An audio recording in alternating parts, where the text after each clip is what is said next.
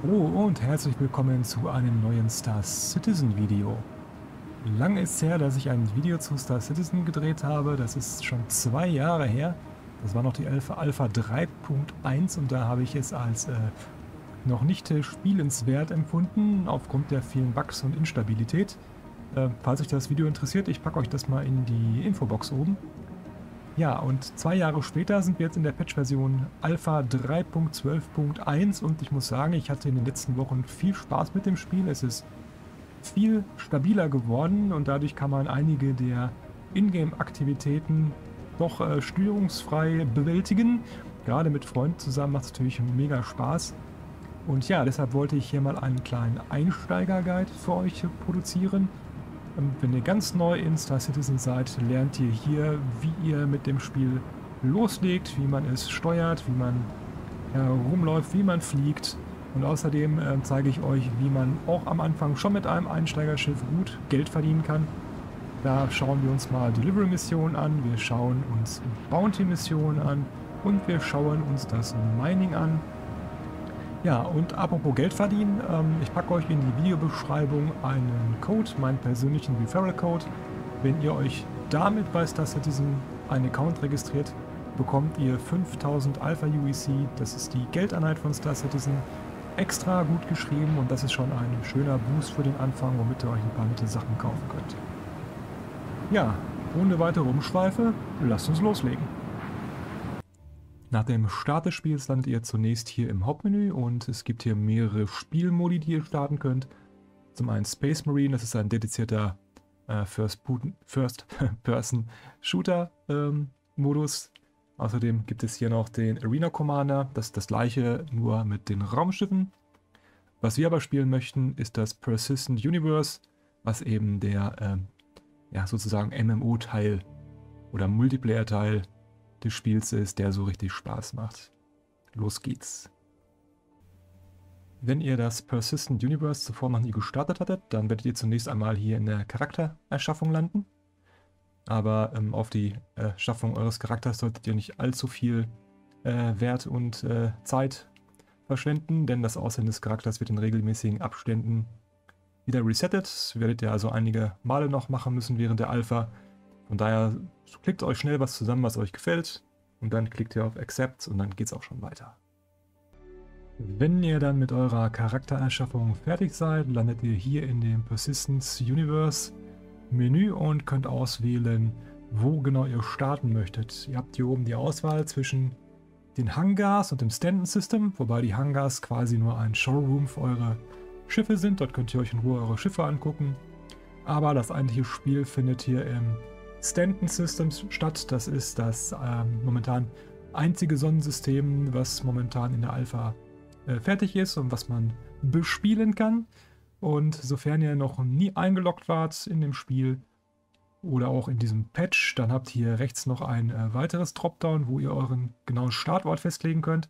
Und zwar sind das die drei Städte, die es aktuell auf den Planetenoberflächen gibt, von Hurston, das wäre dann äh, Lorville oder auch Area 18 auf A-Corp oder auch New Babbage auf Microtech. Ich bin derzeit auf äh, Lorville stationiert, sozusagen. Dort gibt es eigentlich immer sehr gute Auswahl an Missionen, deshalb äh, finde ich das da ganz gut. Außerdem ist der Planet Hurston ziemlich zentral im Sonnensystem, von da aus kann man überall ziemlich flott hin. Von daher ist das keine schlechte Wahl für den Start. Aber wenn ihr euch mal eine schöne fancy Stadt angucken möchtet, dann könnt ihr auch auf New Babbage starten. Wo ihr startet, ist relativ egal. Ähm, zum aktuellen Patchstand ähm, kann man eigentlich überall direkt loslegen, sein Schiff holen und dann ähm, das Universum erkunden. Von daher zeige ich euch jetzt mal, wie das in Lorville aussieht. Da gibt es auch noch ein paar nette Shops, die wir uns angucken können, für einen kleinen Ausblick auf äh, späteres. Hier unten könnt ihr dann noch auswählen, ähm, wo die Server-Location sein soll. Hier könnt ihr das nehmen, was für euch als nächstes ist. Also bei mir ist das EU. Oder ihr wählt oben Best aus, wo ihr dann den, äh, ich denke mal, Latenz niedrigsten Server von alleine auswählen solltet. Aber das könnt ihr halten, wie ihr möchtet. Und dann klicken wir Visit Location und nach dem Ladebildschirm sollten wir dann auch im Spiel aufwachen.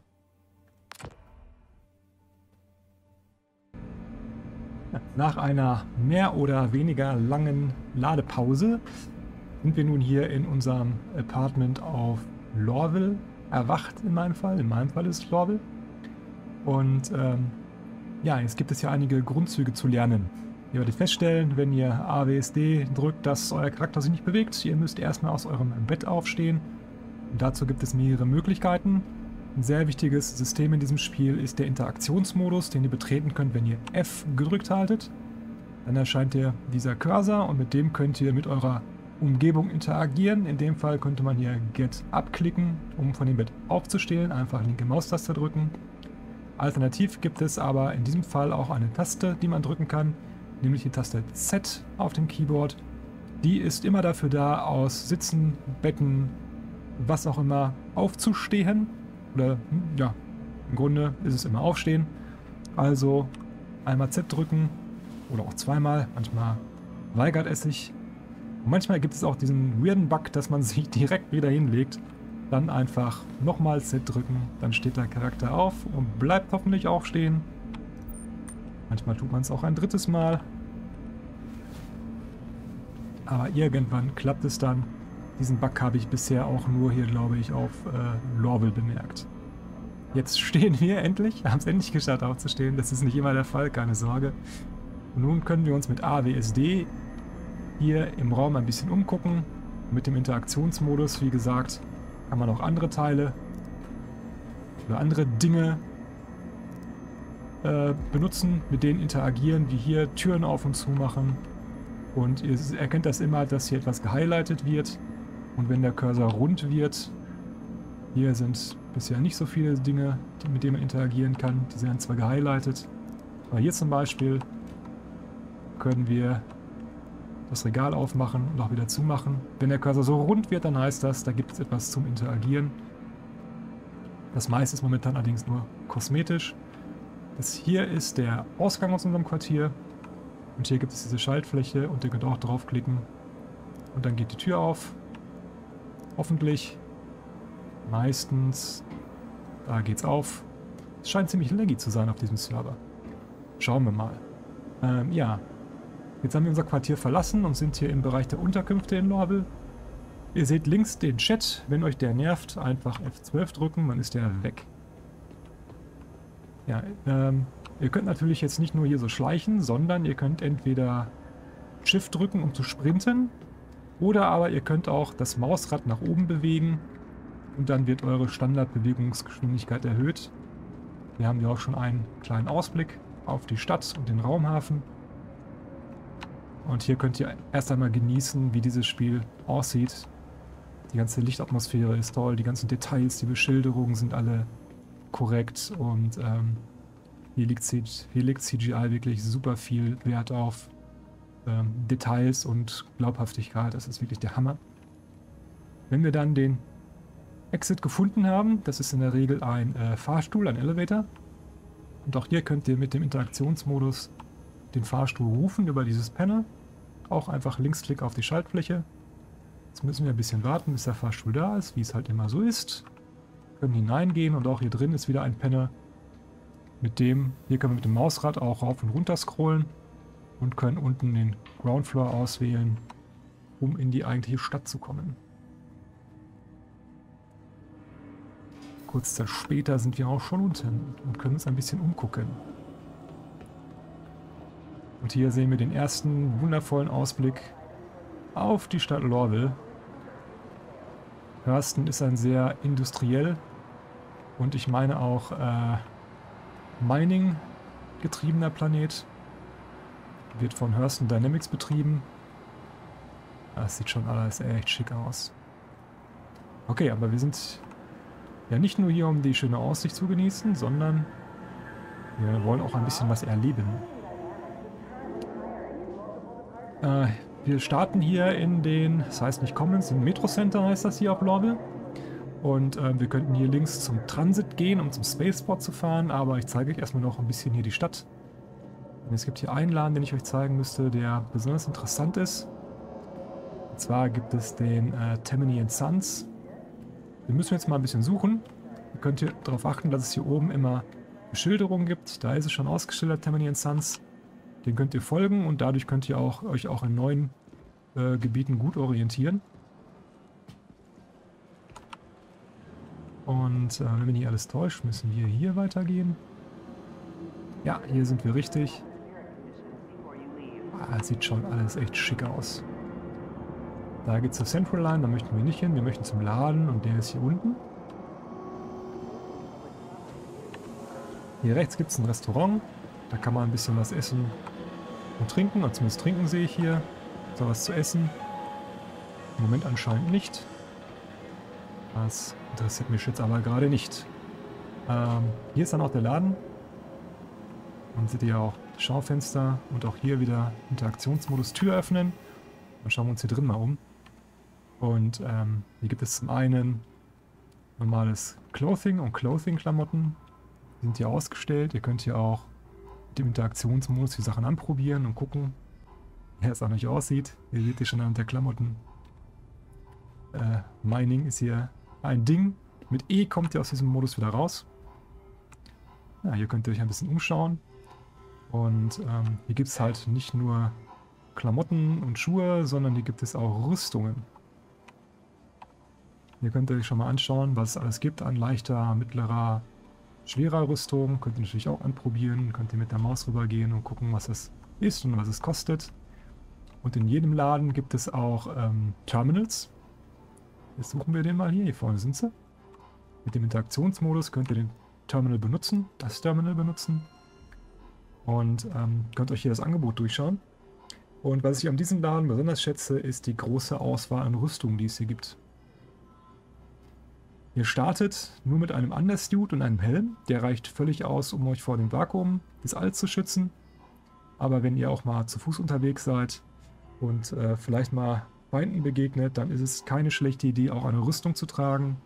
Und da könnt ihr euch hier halt einmal durchklicken und schauen, was euch da gefällt und was ihr euch dann später vielleicht mal kaufen möchtet. Am Anfang sind eure Alpha UEC, also Geldbestände, recht begrenzt. Aber das wird sich ganz schnell ändern. Und ähm, ihr könnt euch hier aber schon mal ein bisschen durchklicken und orientieren, was das so kostet und was ihr haben möchtet. Im Moment äh, macht es eigentlich nur Sinn, wenn man wirklich kämpfen gehen möchte, eine Heavy Armor zu nehmen. Ähm, die haben momentan nicht so viele Einschränkungen, als dass man dafür auf eine Medium oder Light gehen müsste. Aber ansonsten könnt ihr euch einfach fashionmäßig aussuchen, was ihr haben möchtet. Eine Armor zu haben ist etwas besser als keine Armor zu haben. Äh, Schusswaffen gibt es hier leider nicht. Dazu müsst ihr zu einer anderen Station fliegen. Aber für Rüstung ist hier gesorgt. Und hier gibt es eine große Auswahl an schicken Sachen und Farben und so weiter. Das wollte ich euch auf jeden Fall mit auf den Weg gegeben haben. Aber jetzt schauen wir mal etwas weiter. Wir laufen hier wieder zurück und diesmal müssen wir zum Transit, an dem wir vorhin schon einmal vorbeigelaufen sind, um zum Raumhafen zu gelangen. Da gibt es die nächsten schönen Sachen zu begucken.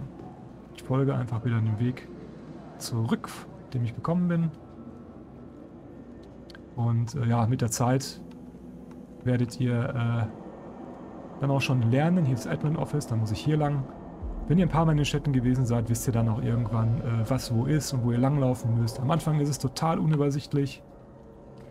Aber wie gesagt, mit der Zeit wisst ihr dann, wo ihr lang müsst. So, hier geht es um Transit. Eine gute Faustregel ist hier auf Lorville, wenn ihr aufgewacht seid und eure Quartiere verlassen habt, beziehungsweise die, das Residential Building verlassen habt, immer links halten, dann kommt ihr ganz automatisch zum Transit. Und wir möchten zum Spaceport. Also orientieren wir uns wieder an der Beschilderung. Da ist die Spaceport Line. Also mal gucken, ob wir hier schnell einen Zug bekommen.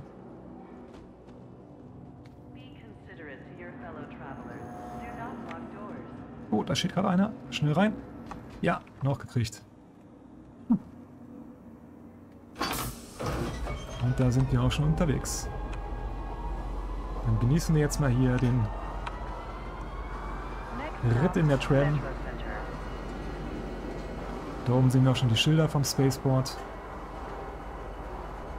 Und da hinten das riesige Zentralgebäude, an dem man sich immer gut orientieren kann, wenn man im Anflug auf Lorville ist.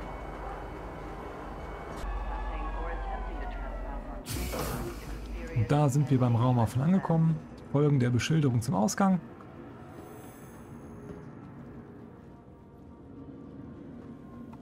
Hier rechts gibt es den Zug zum New Business District. Da gibt es einen schönen Waffenladen für Schiffswaffen. Da gibt es die besten Laser-Repeater, die es derzeit im Spiel so gibt. Aber wir folgen jetzt hier einfach dem einen Weg, den es gibt. Da kann man sich gar nicht großartig verlaufen. Zum eigentlichen Zentrum des Raumhafens. Da sind wir auch schon. Hier linke Hand gibt es einen schönen Ausblick auf den Raumhafen und die Stadt. Und die Hangars. Hier linke Hand liegen die Terminals, an denen man äh, seine Schiffe spawnen kann. Dazu kommen wir noch. Hier auf der rechten Seite sehen wir schon ein ausgestelltes Schiff, das man äh, hier tatsächlich auch kaufen könnte. Aber es hat auch seinen Grund, denn hier haben wir den Eingang zu dem Schiffsshop, der da heißt New Deal. Und hier kann ich euch auch mal dringend einen Besuch empfehlen.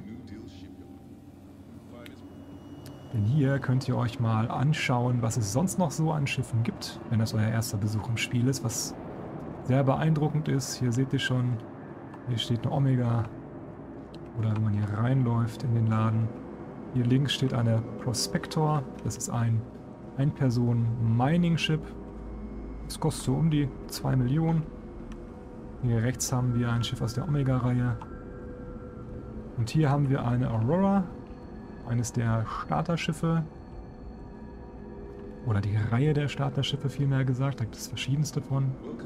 Ähm, bevor ich rauslaufe, hier vorne ist auch ein Terminal. Den könnt ihr auch wie bei dem Klamottenladen F- und Linksklick benutzen.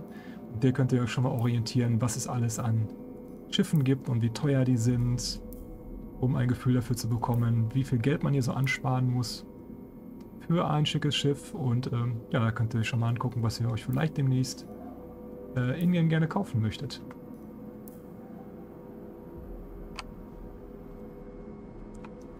wenn wir rauslaufen, gibt es hier noch was ganz Besonderes. Und zwar, wenn wir der Rampe nach rechts folgen, gibt es hier auch ein paar große Pötter ausgestellt, die super beeindruckend sind.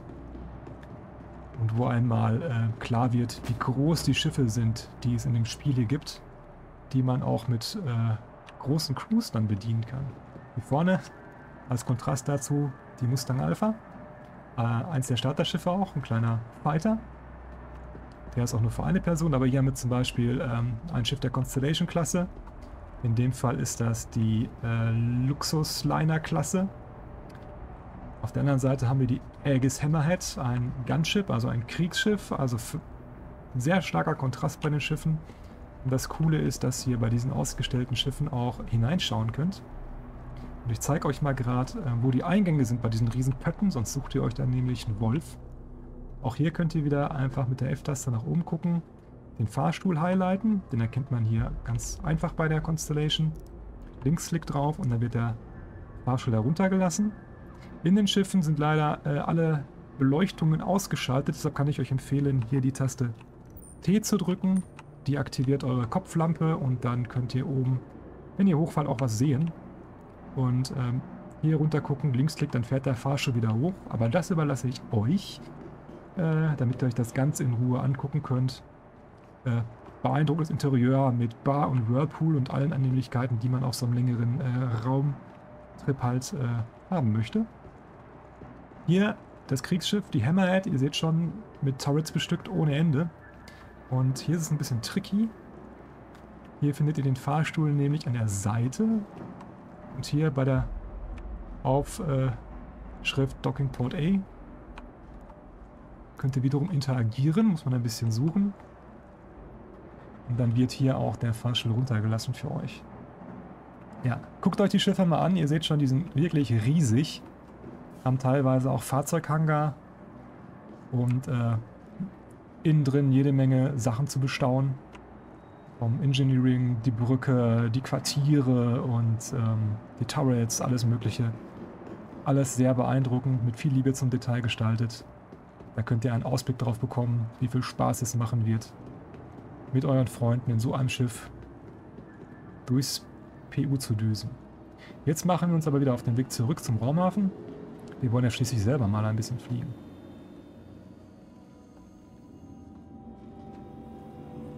So, noch ein letzter Tipp zum Thema Bedienung eures Avatars. Ihr habt auf der Taste F1 noch euer Mobiglas. Das ist ein Handgelenkmonitor, äh, wo ihr jede Menge, also wo ihr quasi alles drüber steuern könnt. Alle wichtigen Funktionen sind hier in diesem Mobiglas äh, zusammengebracht. Der erste Bildschirm ist eigentlich aktuell relativ uninteressant, bis auf die Anzahl äh, eurer Credits, die ihr habt, also eures Geldes, was ihr euch halt leisten könnt. Und ihr könnt hier unten umschalten. Es gibt hier äh, Comlinks für die Chats, euer Social-Menü. Hier könnt ihr auch sehen, wer alles online ist und so weiter. Ihr habt hier eure Schiffsausstattung. Hier könnt ihr euer Schiff aussuchen und euch angucken, wie es momentan ausgerüstet ist, äh, was für Waffen drin sind, was für Komponenten drin sind, etc. pp. Das gleiche gibt es dann noch einmal für euren Avatar. Hier könnt ihr sehen, was ihr momentan an äh, Kleidung anhabt, an Rüstung anhabt, an Waffen angelegt habt und so weiter. Und ähm, ja, noch einige Menüs mehr, unter anderem hier auch die Sternenkarte.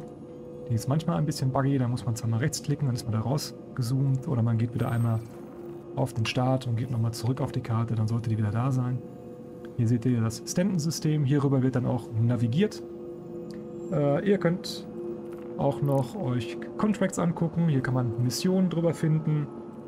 Ähm, ihr könnt hier Reparaturen für euer Schiff durchführen, alles mögliche. Da könnt ihr auch mal in Ruhe durchklicken. Das muss ich jetzt hier nicht alles im Detail erklären. Ein paar Sachen, da kommen wir hier noch drauf. Wenn ihr vom New Deal aus nach äh, links lauft übrigens, findet ihr hier noch ein weiteres Terminal, nämlich das Terminal Vantage und hier könnt ihr euch Schiffe nicht kaufen, aber mieten. Das heißt, äh, wenn ihr euch unschlüssig seid, ähm, ob ihr direkt kaufen sollt, direkt zuschlagen sollt oder ähm, wenn ihr die Schiffe halt einfach mal nur Probe fliegen wollt, dann könnt ihr gucken, welche es hier an dem Terminal gibt. Und ihr könnt hier unten ähm, zum Beispiel die Vanguard Warden gibt es hier ab 81.000 Credits zu leihen für einen Tag. Wenn ihr mehr, mehr Tage auswählt, wird es günstiger pro Tag. Könnt ihr euch anschauen, was, äh, was hier für euch, äh, ob das für euch sinnvoll ist, ob ihr mal was ausprobieren möchtet. Und ähm, es gibt ja eine, eine Titan auch für 16.000. Oder wenn ihr vielleicht einfach mal ein Schiff benutzen möchtet für irgendwas, könnt ihr es euch einfach mal für einen Tag ausleihen, für einen begrenzten Zeitraum. Probe fliegen, ausprobieren, machen, was ihr möchtet. Ähm, der einzige Unterschied ist zum Kauf, dass ihr ein geliehenes Fahrzeug nicht modifizieren könnt. Ihr könnt ja also keine weiteren Waffen oder Komponenten austauschen. Die sind einfach, das ist einfach die Stock-Version, mit der ihr klarkommen müsst. Aber für, um sich das mal anzugucken oder für Probeflüge ist es 1A geeignet. Dazu kommen wir auch später nochmal im Detail. So, jetzt geht es aber zum Fliegen. Dazu gehen wir hier an ein Vehicle Retrieval Terminal. Wieder F- und Linksklick und hier seht ihr schon die gesamte Liste eurer Fahrzeuge, die ihr hier spawnen könnt und die in eurem Hangar sind. Für den ersten Ausflug nehme ich jetzt hier einfach mal die äh, Aurora ES, die ich mir ausgeliehen habe. Gehe auf Retrieve. Und jetzt müssen wir einen kleinen Moment warten, bis uns angezeigt wird, wo das Fahrzeug abgestellt wird. Das wurde für uns jetzt im Hangar 06 platziert. Das müssen wir uns jetzt merken. Aber ihr seht vorne schon den Marker des Schiffes, da steht es momentan noch drunter, Hangar 06. Falls wir also das vergessen sollten, können wir da nochmal nachschauen. Und jetzt müssen wir die Fahrstühle finden, die zu diesen Hangars führt. Die sind in Lorville an dieser Stelle. Bevor ihr den Fahrstuhl betretet, empfiehlt es sich übrigens immer, einen schnellen Helmcheck zu machen.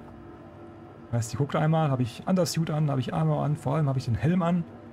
Weil ohne Undersuit und Helm werdet ihr ratzfatz ersticken, wenn ihr äh, die Atmosphäre, die schützende Atmosphäre der Station verlasst. Also immer einmal vorher gucken, ob alles okay ist.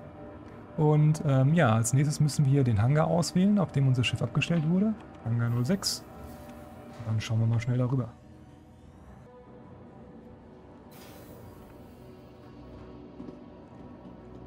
Da sind wir auch schon. Und da steht auch schon unser Prachtstück. Könnt ihr euch einmal in Ruhe von allen Seiten angucken. Vorne seht ihr schon auch die Bewaffnung.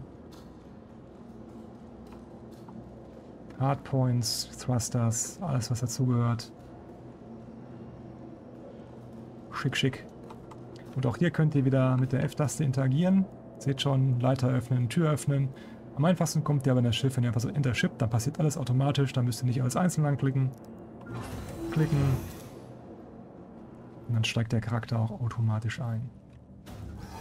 Automatisch geht auch die Tür wieder zu, Leiter wird eingeklappt. Und ihr könnt euch in eurem Schiff umgucken. Hier vorne ist der Pilotensitz unschwer zu erkennen. Hier hinten, der Vorteil der Aurora ist, dass es hier einen Innenraum gibt, auf dem man äh, Kisten abstellen kann. Dazu kommen wir gleich. Und in der Aurora gibt es hier auch ein Bett, in das man sich reinlegen und auch ausloggen kann. Das mit, damit man äh, an einer bestimmten Stelle im Spiel auch wieder spawnen kann, also in eurem Schiff. Und jetzt gehen wir auf den Pilotensitz, wieder F gedrückt halten. Ihr kennt das jetzt schon.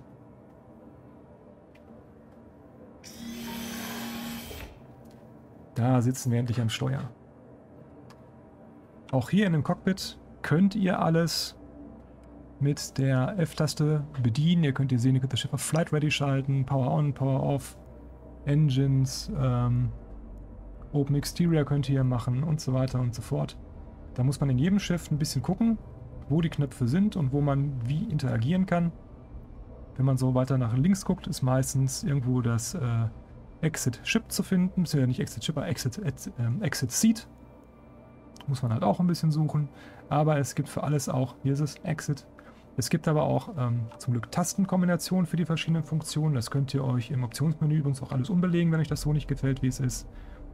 Aber ähm, ja, das einfachste, um das Schiff voll flugfähig zu bekommen, ist die Taste R für Flight Ready. Einmal gedrückt, dann fährt das Schiff hoch.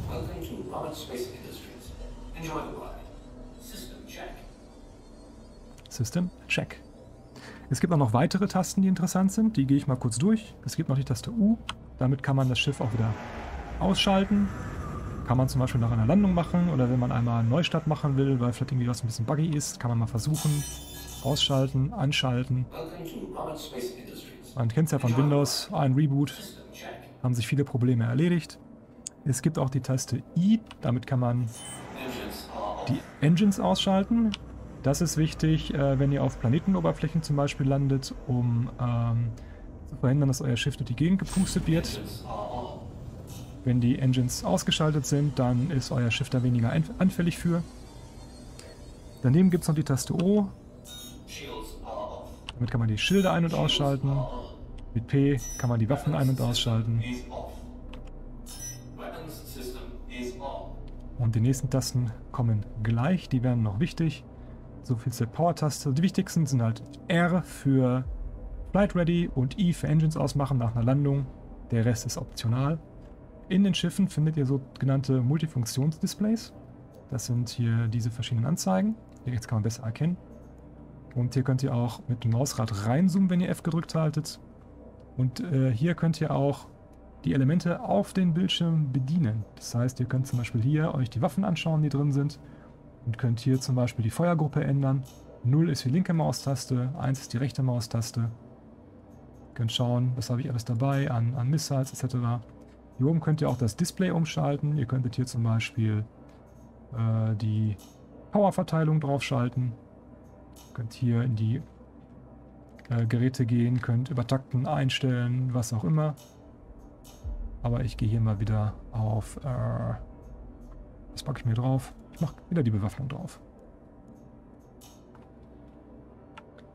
Ja, hier wird euer Ziel angezeigt.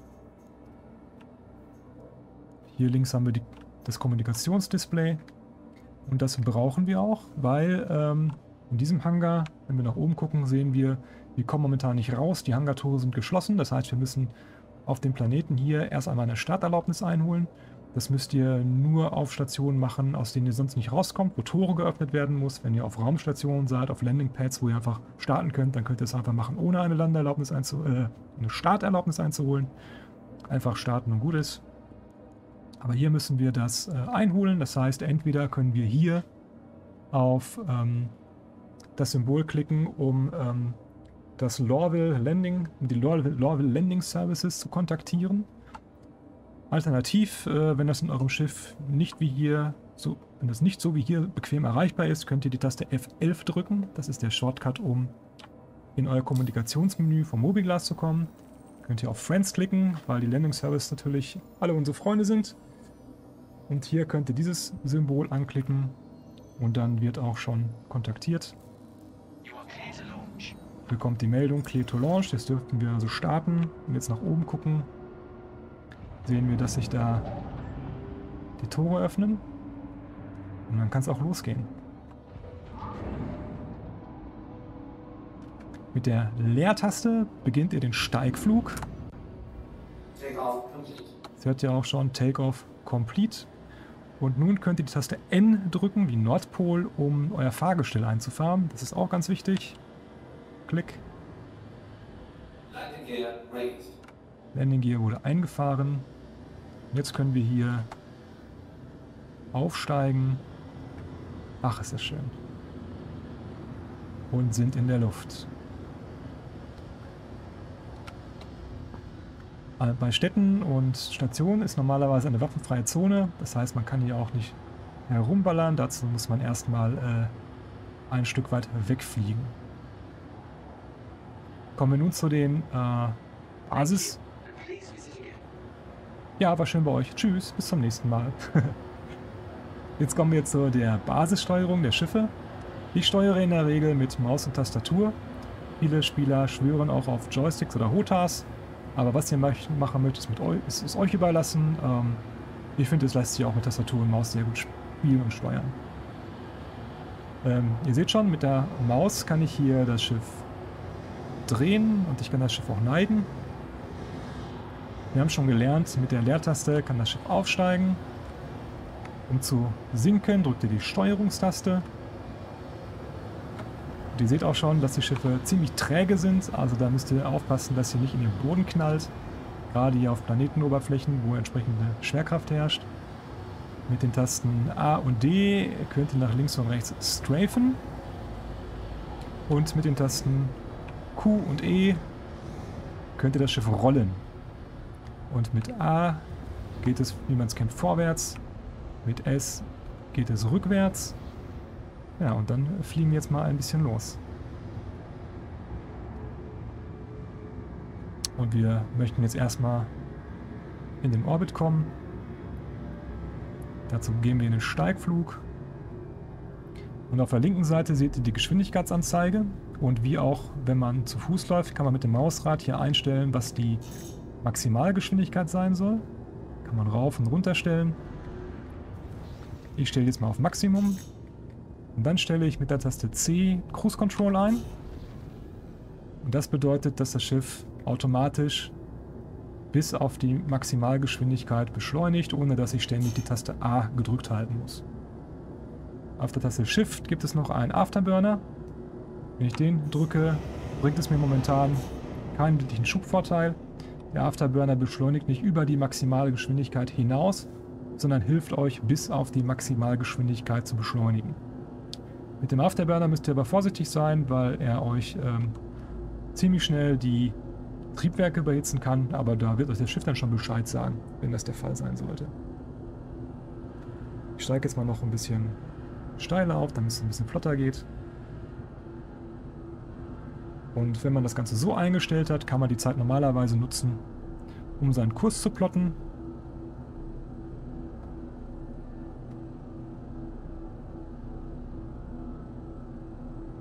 Aber da ich jetzt erstmal nur den Plan habe, zur Raumstation zu fliegen, mache ich das jetzt erstmal nicht.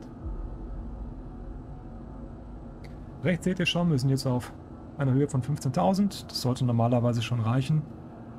Wir sollten die Atmosphäre verlassen haben. Und man kann sich schneller im Raum bewegen mit dem sogenannten Quantum Drive, mit dem jedes Schiff oder fast jedes Schiff ausgestattet ist. Den aktiviert man mit der Taste B. Und dann seht ihr schon, dass jetzt jede Menge Icons aufgetaucht sind. Das sind alles Punkte, die wir mit dem Quantum Drive anspringen können. Und äh, ich suche jetzt einmal die Raumstation. Raumstationen sind immer ein äh, rechteckiges Symbol. Städte haben ein, auf Planetenoberflächen haben ein Schildsymbol. Äh, Kolonien auf Planetenoberflächen haben ein Raute-Symbol. Ich möchte jetzt erst einmal zur Raumstation Everest Harbor, denn über jedem Planeten Oh, da wird mir auch schon schwummerig. Da reagiert der Charakter drauf, wenn man äh, sehr stark einlenkt. Die G-Kräfte mag so ein menschlicher Körper dann halt gar nicht. Jetzt kann ich auch mal wieder ein bisschen Speed runternehmen. Jetzt sind wir ja schon aus der Atmosphäre raus. Jetzt gucke ich mich mal um, ob ich die Raumstation finde. Alternativ könnte ich auch ähm, auf der Karte nachschauen. Aber wenn man schon hier beim Planeten ist, kann man in der Regel auch mal einmal kurz den Horizont abschwenken, um zu gucken, ob man den, die nicht auch so findet. Und ansonsten kann man immer noch mal in die Karte gucken. Kann natürlich sein, dass die Station gerade auf der anderen Seite des Planeten ist.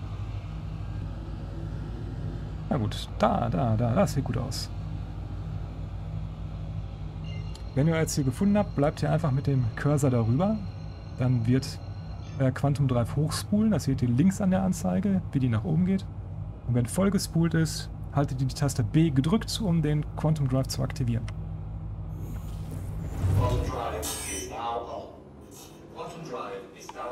Und schon sind wir gesprungen. Und da ist auch unser Ziel, die Station, an die wir jetzt erstmal bis auf 7 Kilometer heranfliegen müssen. Ich gebe gerne immer Vollgas, damit es schnell geht, aber passt auf, dass hier neben die Station zielt, nicht auf die Station. Denn falls ihr es nicht mehr schaffen solltet, rechtzeitig zu bremsen, knallt ihr da rein und euer Schiff explodiert. Dann müsst ihr wieder warten, bis es gespawnt ist. Also, wenn ihr euch nicht sicher seid, fliegt langsam ran. Oder wie gesagt, geht auf Nummer sicher, zielt daneben, stellt die Geschwindigkeit rechtzeitig wieder runter. Wichtig ist auch, wenn ihr gesprungen seid, euer Cruise Control bleibt aktiviert. Also, ähm, wenn ihr springt dann äh, und ihr habt Cruise Control vorher an, dann ähm, geht nicht einfach vom Rechner weg, weil ihr wartet oder äh, guckt in euer Mobiglas. Euer Schiff wird dann einfach weiterfliegen und voll in was auch immer vor euch liegt hineinknallen. Deshalb entweder vor dem Sprung Cruise Control ausschalten oder aufpassen, wenn ihr ankommt, dass ihr das äh, dann ausschaltet. Auch hier gilt immer ein Auge auf den Straßenverkehr. Jetzt sollten wir schon nah genug dran sein. Jetzt müssen wir eine Landeerlaubnis einholen, damit wir wissen, wo wir landen dürfen. Gleiches Spiel. Wieder auf die Freunde. Und hier sehen wir schon Everest Harbor kontaktieren. Das machen wir jetzt. Jetzt bekommen wir eine Landing Bay zugewiesen. Die wurde jetzt markiert. Die seht ihr hier an dem Icon mit dem Kreis mit dem Pfeilchen. Und da fliegen wir jetzt hin. Dann werden wir mal eine Landung vollziehen.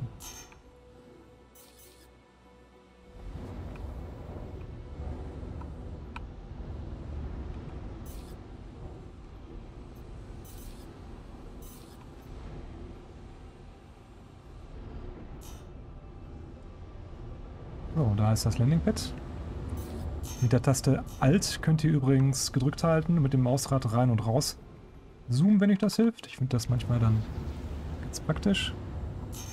Unser Pad scheint auf der anderen Seite zu sein.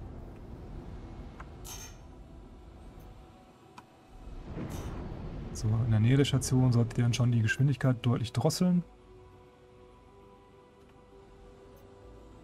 Leises einmal drehen. Jetzt nicht vergessen, das Fahrwerk auszufahren. Das gibt das heißt der N, wie schon gesagt. Jetzt fliegen wir langsam an das Pad heran.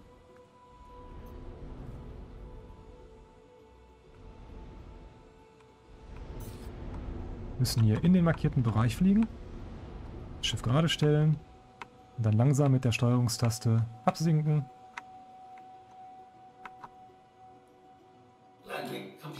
bis die Meldung kommt, dass die Landung vollzogen ist. Gewöhnt euch an, einmal die Taste I zu drücken, um die Engines auszuschalten, damit das Schiff nicht Faxe macht und euch um die Ohren fliegt. Und wir sind erfolgreich gelandet. Und wichtig zu wissen ist, äh, falls ihr auslockt oder getötet werdet, dann werdet ihr immer in der Raumstation oder in der Stadt erwachen, in der ihr zuletzt erfolgreich gelandet seid. Und hierdurch haben wir sichergestellt, dass wir nicht wieder auf dem Planeten aufwachen und die Bahnfahrt bis zum, Space, äh, bis zum Spaceport machen müssen, sondern wir starten ja auf der Raumstation wieder neu und ähm, das geht auch deutlich flotter, da zum Schiff zu gelangen. Deshalb ist es immer eine gute Idee, einmal auf einer Raumstation Zwischenstopp zu machen. Ja, hier könnten wir jetzt auch aussteigen. Aber was ich jetzt machen möchte, ist äh, die erste Mission anzunehmen, damit wir mal ein bisschen Geld verdienen. Dazu gehe ich dann jetzt mal in das äh, Mobiglas und unten in den Contract Manager. Und hier findet ihr allerhand äh, Missionen, die ihr auswählen könnt. Ihr findet hier äh, Delivery Mission, Investigation, äh, Mercenary Mission, Maintenance Mission, Bounty Hunting und ECN Alerts. Und das erste, mit dem wir uns beschäftigen möchten, sind die Delivery Missionen. Ähm, die könnt ihr machen, sofern ihr ein Schiff habt mit einem Innenraum, wo ihr Kisten abstellen könnt. Zum Beispiel diese Aurora. Ähm, es soll mit ihr gehen. Ich habe es selber noch nicht ausprobiert. Das werden wir jetzt herausfinden, ob das wirklich klappt. Und ob das für Delivery-Missionen wirklich taugt. In der Regel hat man Delivery-Missionen, die seht ihr hier, die bringen immerhin 8000 Credits. Und ähm, ihr müsst in der Regel drei Pakete transportieren. Und es gibt die in zwei verschiedenen Ausführungen. Entweder ihr müsst alle Pakete an einem Punkt abholen und an drei verschiedene äh, Stationen oder an Orte bringen.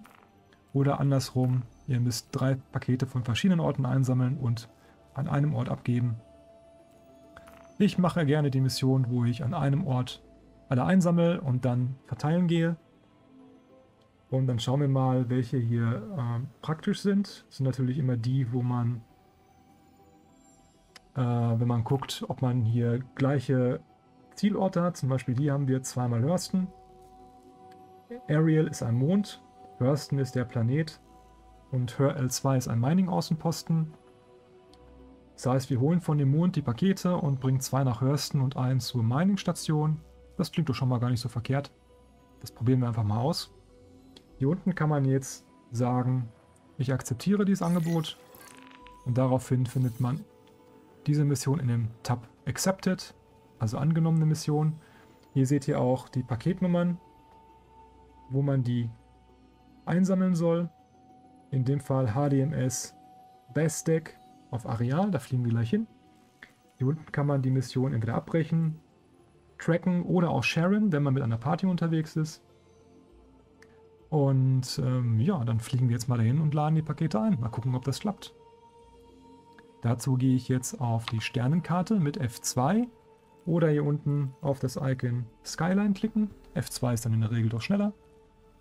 Jetzt müssen wir mal schauen, wo wir sind. Und zwar sind wir im Moment hier bei Hurston. Ihr seht ja auch diese, diese Markierung, da man jetzt genau auf das Profil guckt. Schwer zu erkennen, aber hier ist schon, seht ihr schon, Areal der Mond. Das ist unser Ziel. Rein, raus scrollen mit der Maustaste. Ihr könnt mit linker Maustaste gedrückt halten die Karte schwenken. Mit rechter Maustaste gedrückt halten könnt ihr die Karte hin und her schieben. Zweimal Rechtsklick zoomt raus auf, die, auf das gesamte Sternensystem oder Doppelklick auf ein Objekt, zoomt euch ran an dieses Objekt. In dem Fall jetzt zum Beispiel an den Mond. Und hier seht ihr schon diese leuchtende Linie. Ich gehe nochmal ganz raus. Da wollte ich nicht hin. So.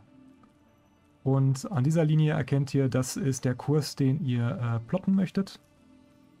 Das heißt, wenn ihr diese Linie seht, Linksklick, dann müsst ihr hier oben auf Set Route gehen und hier auf der linken Seite seht ihr dann, wie viel Sprit ihr benötigt und ähm, wie viel äh, Schritte ihr machen müsst. Manchmal müsst ihr mehrere Sprungpunkte anfliegen, aber momentan können wir erstmal direkt bis zu dem Mond fliegen. Das hat schon mal gut geklappt. Manchmal ist äh, dieses Kurssetzen buggy, dann sieht man die Linie nicht, es funktioniert nicht. Dann müsst ihr mal einfach ausprobieren, dann die Karte ein bisschen zu bewegen. Jetzt seht ihr schon, dass hier die Route irgendwie äh, stehen bleibt. Dann müsst ihr die Karte mal ein bisschen bewegen. Oder was oft auch hilft, ist einmal wieder äh, auf die Übersicht zu gehen, die Karte neu zu initialisieren, also nochmal auf die Karte gehen und dann das Ganze auszuprobieren. Oder manchmal muss man auch ein bisschen neben das Target zielen. Und ähm, ja, ist ein bisschen fummelig. Die Karte wird zum Glück dieses Jahr überarbeitet. Und dann wird es hoffentlich leichter von der Hand gehen.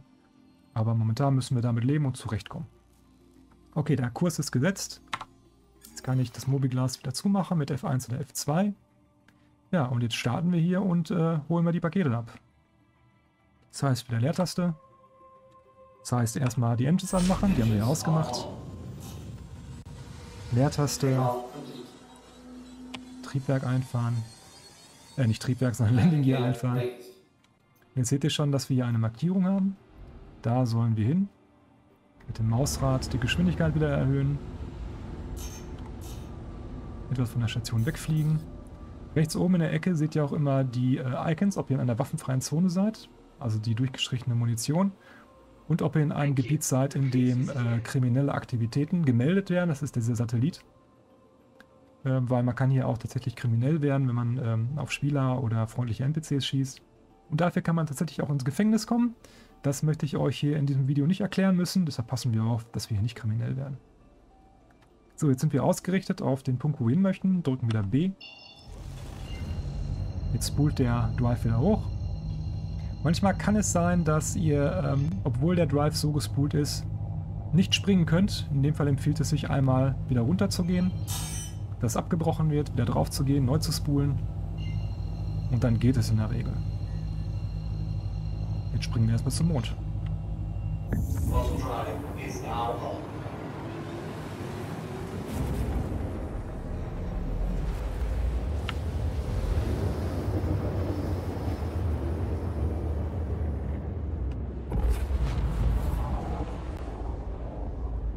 Und schon sind wir da. So, und jetzt müssen wir einmal schauen, wo wir die Pakete abholen sollen. Einmal schauen, dass ich meinen Cruise Control ausmache, damit wir nicht äh, in den Planeten, in den Mond knallen. Ich einmal nochmal nach, wie das genau hieß, wo wir hin müssen. Contract Manager, Accepted. Und hier sehen wir sollen die Pakete abholen bei HDMS Bestek. Mobile Lasso, B drücken, damit alles angezeigt wird. Jetzt schauen wir mal, wo das ist. Jetzt müssen wir hier leider einmal die Punkte abklappern und gucken, wo wir hin müssen. Diese OMs, das sind ähm, Navigationsbojen um den Planeten oder um einen Mond verteilt, die euch erlauben, schnell um den Planeten drumherum zu springen. Falls das Ziel, wo ihr hin möchtet, verdeckt sein sollte. Ah, hier haben wir auch schon markiert, Bestek. Da sollen wir abholen. Das ist doch praktisch.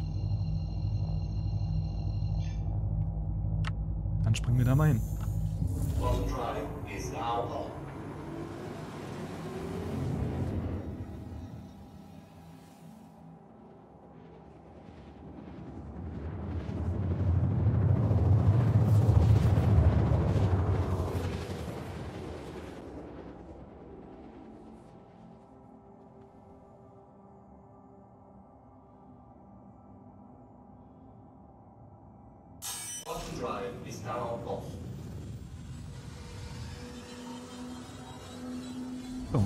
Quantumreif ist aus. Jetzt müssen wir das restliche Stück dorthin fliegen. Dazu gebe ich wieder ein bisschen Gas. Und es empfiehlt sich, etwas in der oberen Atmosphäre zu bleiben, weil man hier schneller unterwegs ist. Und bis auf unter 10 Kilometer oder auch unter 5 Kilometer ranzufliegen und dann das Bremsmanöver einzuleiten.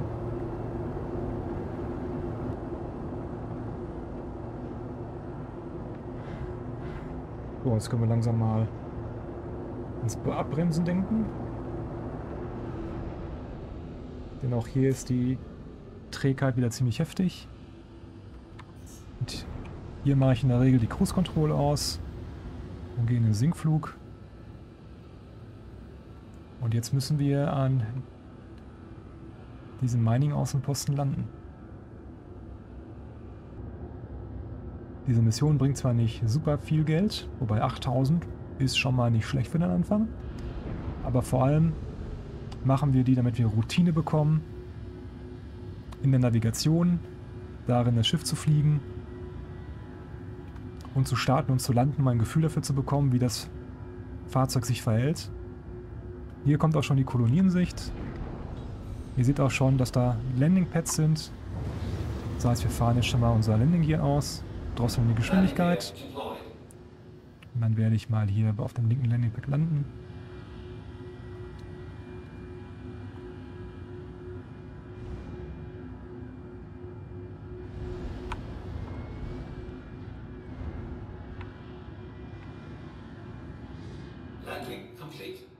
Landung erfolgreich.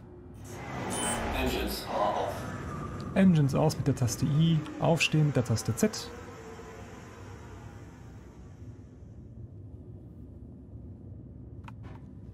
dann steigen wir mal aus und gucken uns um.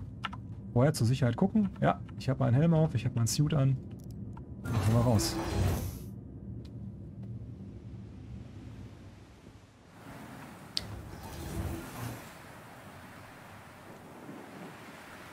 Hallo Mond. Unten links seht ihr auch schon, dass es hier ziemlich heiß ist. Die Temperaturanzeige steigt gerade auf äh, 180 Grad, 190 Grad. Und wir haben eine geschätzte Überlebensdauer von gerade mal 10 Minuten. Also sollten wir uns hier mit unseren Geschäften beeilen. Aber sobald wir in eines der Gebäude reinlaufen, ähm, sind wir da auch wieder geschützt. Jetzt müssen wir nur einmal das richtige Gebäude finden. Das ist zum Glück markiert. Das heißt, wir laufen da jetzt einmal rüber sind sogar mehrere Gebäude markiert. Hier sieht man, in dem Gebäude ist auch ein Paket. Daran kann man sich orientieren. Dann gehen wir da mal zuerst rein. Ihr müsst auch nicht zwingend auf den Landingpads ähm, landen, aber nur da habt ihr auf jeden Fall garantiert eine glatte Fläche und ähm, nur da könnt ihr auch auftanken, wenn ihr müsst und reparieren. Hier benutzen wir einmal die Luftschleuse. Und hier sind wir auch schon in dem Storage-Gebäude. Hier gibt es auch Terminals, wo ihr Handelsgüter kaufen oder verkaufen könnt. Ist auch ganz interessant zu wissen. Und hier steht das Paket, was wir einpacken sollen. Holen wir uns das doch mal. Wieder interagieren, wie gewohnt. Und jetzt verladen wir das ins Schiff.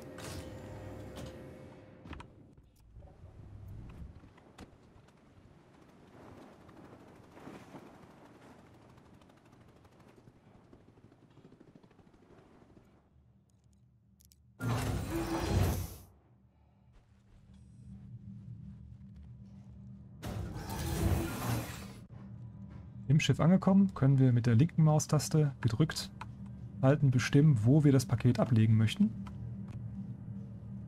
Okay, in dem Bett, ins Bett kann ich es anscheinend nicht platzieren. Also nehmen wir lieber mal den Boden. Nehmen wir einen möglichst glatten Bereich. Loslassen, linke Maustaste, dann wird das Paket dort abgestellt. Und jetzt ist es auch hier an unser Schiff angedockt. Ja, dann holen wir mal die anderen. Diese Überlebenschance von 10 Minuten können wir übrigens auch äh, optimieren, sage ich mal, indem wir äh, uns eine bessere Rüstung kaufen oder einen besseren Undersuit. Die gibt es in verschiedenen Ausführungen und schützen dementsprechend unterschiedlich gut gegen verschiedene äh, Witterungsbedingungen, Kälte, Hitze. Dazu kommen wir später noch.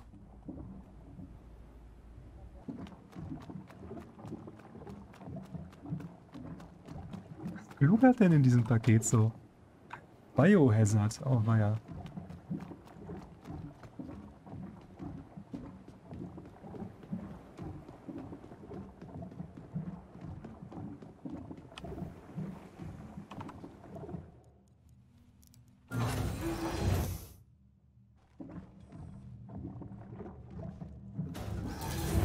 So, wir stellen das nächste Paket ab.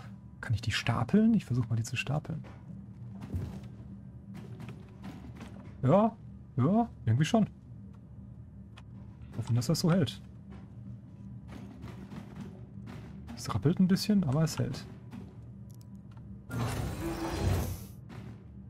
Manchmal funktioniert dieses Grid-System an den Schiffen noch nicht so richtig toll. Dann kann es sein, dass die Pakete so ein bisschen oder auch Fahrzeuge in, in, in, in den Raumschiffen ein bisschen äh, herumglitschen muss man immer zusehen, dass die halbwegs vernünftig abgestellt und geparkt sind. Damit die nicht irgendwie aus dem Schiff rausfallen oder sowas.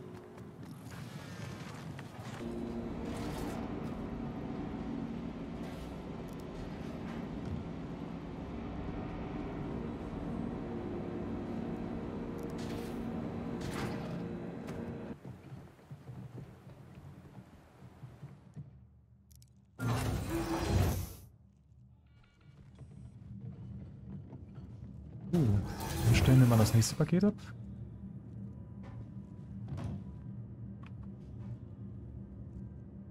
Das scheint zu klappen. Und dann gucken wir mal, wo wir hin müssen.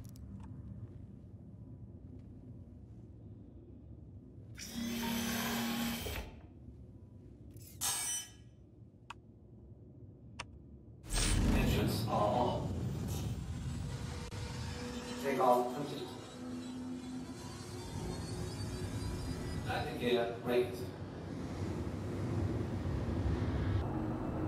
So, wir sind jetzt gestartet. Sind allmählich aus der Atmosphäre raus und dann können wir jetzt mal schauen, wo wir abliefern müssen. Das müsste sein zwei Pakete auf Hurston und einmal bei dem Mining-Außenposten. Dann fliegen wir erstmal wieder zurück nach Hurston.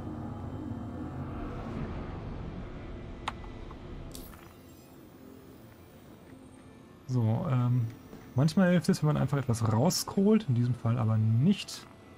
Man kann hier rechts oben das Icon klicken, das zentriert die Karte auf die eigene Position, hilft in diesem Fall auch nicht, also klicke ich einmal auf die Übersicht, wieder F2 und jetzt habe ich wieder eine funktionierende Karte.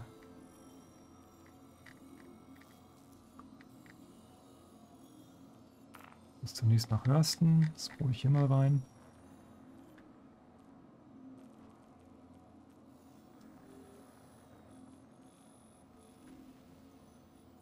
So, wo soll ich denn abliefern?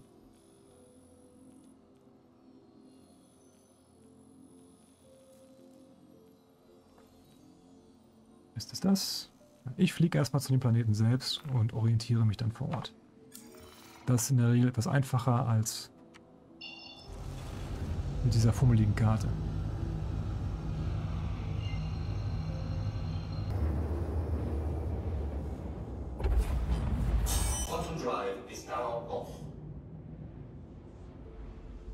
Okay, bei Ersten angekommen. Wir sehen, dort müssen wir einmal ein Paket abliefern. Dann fliegen wir erstmal dahin.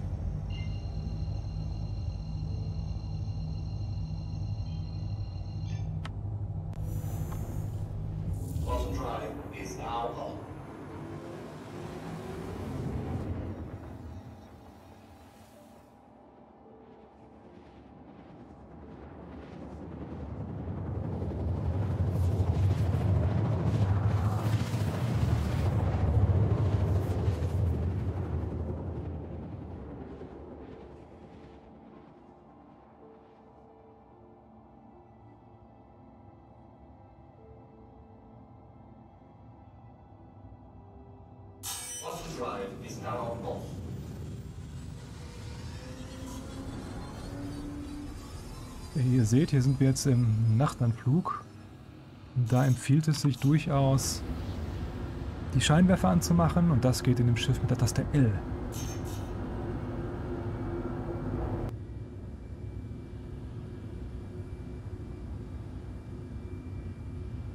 Wir können uns schon mal merken, welches Paket wir abliefern sollen. Wir sollen das Paket mit der Endziffer 445 abliefern. Landing gear deployed. Diesmal parke ich auch etwas näher an dem Gebäude, da muss ich nicht so viel rennen.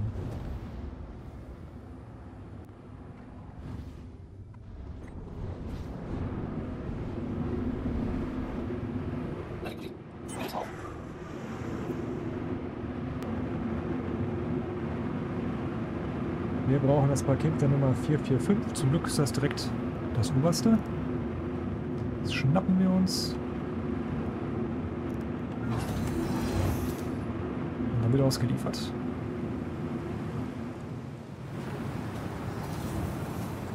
Ganz schön stürmisch hier.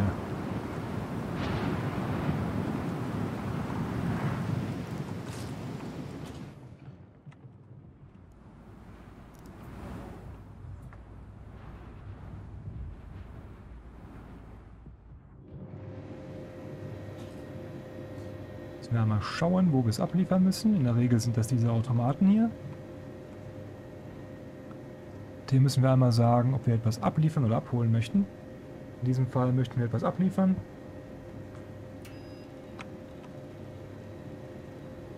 Manchmal muss man die Kisten auch auf Betten stellen, aber es ist entsprechend markiert. Mal reinstellen. Kurz warten.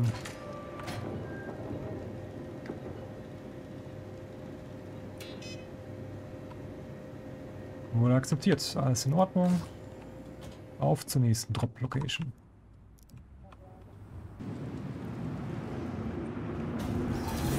Oh, unser Haufen ist umgefallen, macht aber nichts, ich kann trotzdem drüber laufen. Das ist auch gut zu wissen. Okay. Oh, oder auch nicht. Jetzt bin ich aus dem Schiff rausgeglitscht.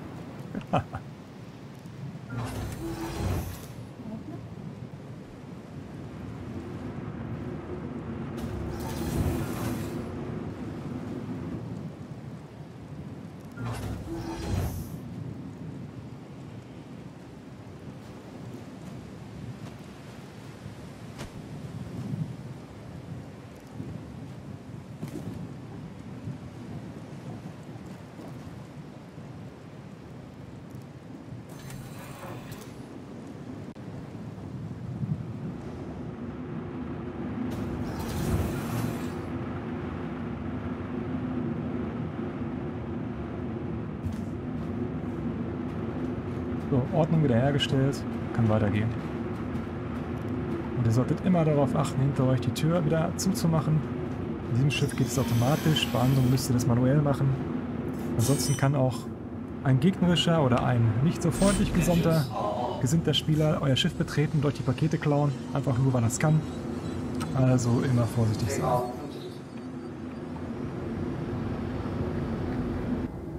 Um zu wissen, wann ihr die Atmosphäre verlassen habt und springen könnt, könnt ihr auch einfach Taste B drücken. Momentan seht ihr, dass die Icons alle rot sind. Das heißt, ihr könnt diese Icons, diese Position nicht anspringen. Aber wir können jetzt einfach warten, bis sie weiß werden und dann wissen wir, dass wir hoch genug gestiegen sind.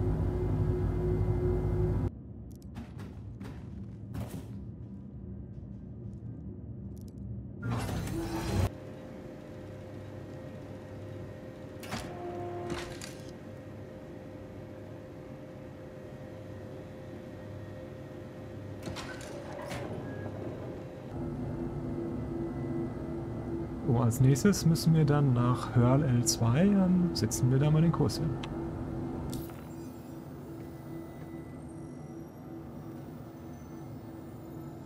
Diese Außenposten findet man immer außerhalb des eigentlichen Planetensystems.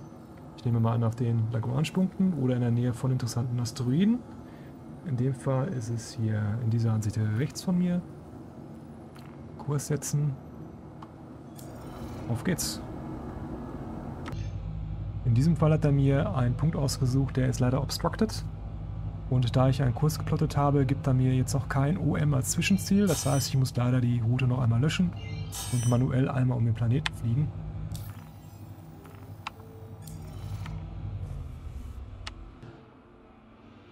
Ich soll in diese Richtung. Ich suche mir einfach den nächsten Punkt. Spule, spring dahin. Und man kann einen Sprung auch mit erneuten Drücken von der Taste B wieder abbrechen. Das heißt, ich springe, ich drücke direkt wieder B, halte B gedrückt. Und jetzt bin ich, habe ich den Planeten hinter mir gelassen und kann dahin springen, wo ich eigentlich hin möchte. Muss nur einmal wieder den Kurs setzen.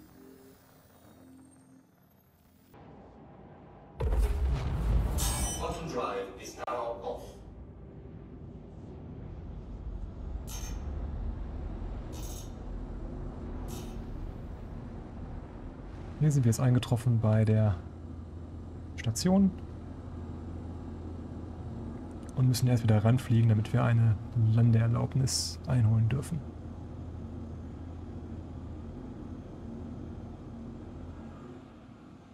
Wir sind immer noch 52 Kilometer entfernt, das heißt, wir können auch versuchen, etwas näher ranzuspringen.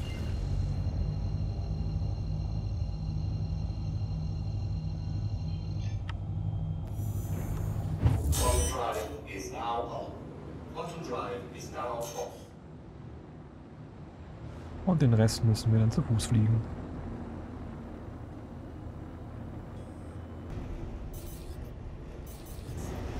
Mit der Taste X könnt ihr übrigens die äh, Afterburner Bremsen reinhauen, um schneller zum um schneller eure Geschwindigkeit zu reduzieren.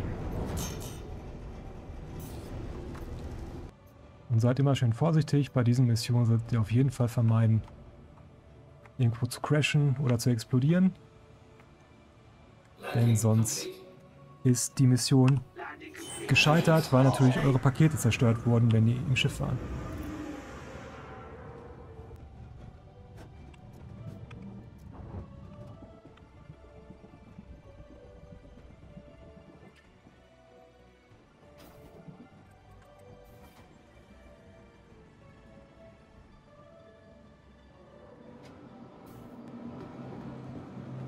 Werden sich die Leute bestimmt freuen, dass ich ihnen hier eine Kiste mit Biohazard-Material durch die Station schleppe. Und jetzt müssen wir herausfinden, wo wir das abgeben müssen. Ich vermute mal im Administration Office und das findet man auf diesen Raumstationen, wenn man zu den Internal Ele Elevators geht und dort auf die Galerie fährt.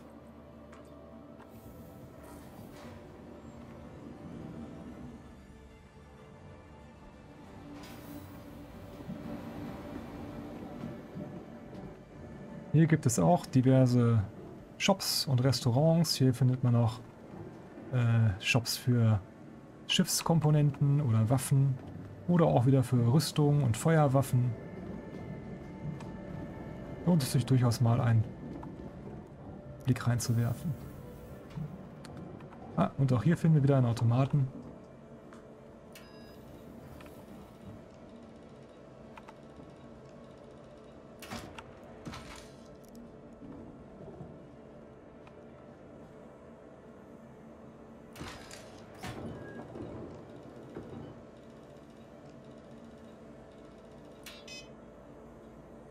Das Paket ist abgeliefert. Objective complete. Und wir haben unsere ersten 8000 Credits verdient. Yeah. Mir hat das persönlich viel zu lange gedauert. Für 8000 Credits. Und deshalb zeige ich euch als nächstes, wie man doch deutlich schneller Credits verdient. Aber das sollte eine kleine Übung sein, damit ihr den Umgang mit eurem Schiff erlernt. Starten, landen, navigieren. Und wenn ihr damit jetzt einigermaßen vertraut seid und euch sicher fühlt, dann können wir jetzt mal zum Raumschiff und zum Weltallkampf übergehen mit Bounty Hunting. Nächstes einmal bin ich aber reichlich durstig und hungrig, wie man links unten sieht, auf 31% und 64%. Guten Tag. Und deshalb schauen wir jetzt erstmal, dass wir was zu futtern und zu trinken finden. Das müssen wir jetzt mal ein bisschen suchen. Oh, hier sehen wir schon ein Shop für Schiffswaffen. Hier seht ihr schon eins der größeren Kaliber. Ein Rhino Repeater. Ich denke mal Size 5 oder 6 dürfte das sein. Kleinere Size 1 Waffen. Auch wieder die Terminals. Hi, ich gehe mal wieder. Was haben wir hier oben? Platinum Bay. Hier gibt es Schiffskomponenten wie bessere Schilde, bessere Powerplants. Ihr könnt eure Schiffe entsprechend ausstatten und verbessern, wie ich schon erwähnte. Was sich auch empfiehlt, dass man erstmal ein bisschen Geld verdient, um sein Schiff aufzumotzen. Oder man spart das Geld an, um sich direkt ein besseres Schiff zu kaufen. Das kommt auf an, womit ihr startet. Aber das macht es auf jeden Fall einfacher. Hier haben wir einen Pizzastand. Mal gucken, ob es hier was gibt. Auf jeden Fall müsste es hier was zu trinken geben. Ja. Wenn auch nur ungesunde Limos. Ah, hier gibt es auch Wasser. Das ist doch was. Denn hier muss man auch aufpassen, die äh, Nahrungsmittel haben unterschiedliche Buffs, je nachdem, ob man äh, gesundes oder ungesundes nimmt. Da muss man ein bisschen aufpassen. Okay, ähm, um was essen, zu trinken zu können, geht natürlich nicht, wenn man einen Helm auf hat. Deshalb muss man erstmal den Helm absetzen. Das könnt ihr entweder über den Inventory Manager machen, Mobilglas auf, Ausrüstungsmanager aufmachen, Rüstung auswählen, Helm auswählen und bei dem Helm, den man aufhat, Unequip drücken und dann safen. Dann nimmt man den Helm ab. Das ist Möglichkeit 1. Jetzt habt ihr gesehen, dass die äh, Anzeigen verschwunden sind. Die sieht man nicht, wenn man keinen Helm auf hat, weil man kein HUD mehr einblenden kann. Jetzt kann ich mir hier erstmal eine Flasche Wasser kaufen. Die habe ich jetzt in der Hand. Linksklick gedrückt halten und auftanken.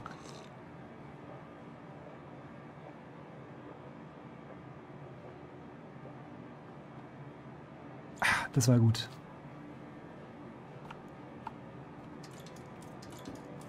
Jetzt versuchen wir mal, ob wir das auch, äh, wie es sich gehört, vernünftig wegräumen können. Wir möchten das placen.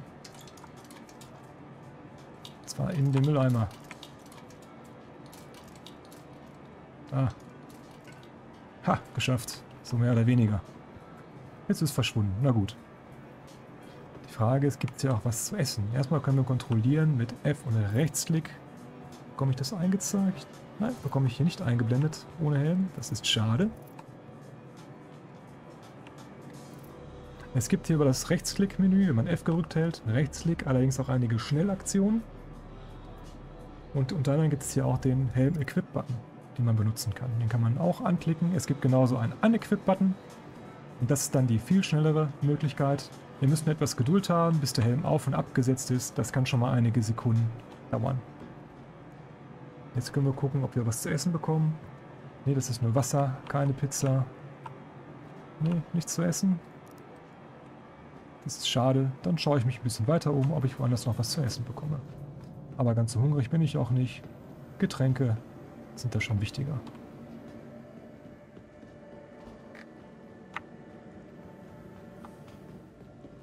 Hier haben wir auch einen Laden für Feuerwaffen, wie ihr seht. Und mit euren ersten verdienten Credits könnt ihr euch jetzt überlegen, ob ihr euch schon mal ein bisschen Rüstung oder eine Feuerwaffe kauft. Oder ob ihr das Geld lieber anspart.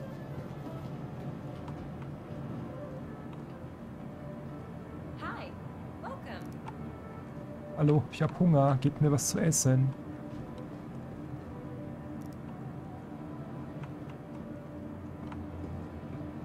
Die zuverlässigsten Läden für Essen und Trinken waren für mich bisher äh, Taco-Läden und Hotdog-Stände. Alle anderen scheinen noch nicht so richtig äh, bestückt zu sein. So, ich bin wieder einmal zu den Hangars gefahren. Und jetzt gucke ich mich hier mal um. Normalerweise wird hier auch noch mal irgendwo ein Hotdog-Stand versteckt. Vielleicht habe ich ja Glück. Hier geht es zu den, äh, zu den Wohnbereichen, wo man noch wieder spawnt.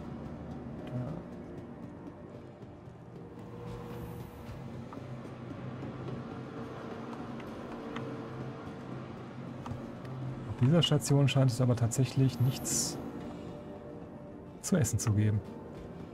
Zumindest habe ich nichts gefunden. Naja, das macht nichts.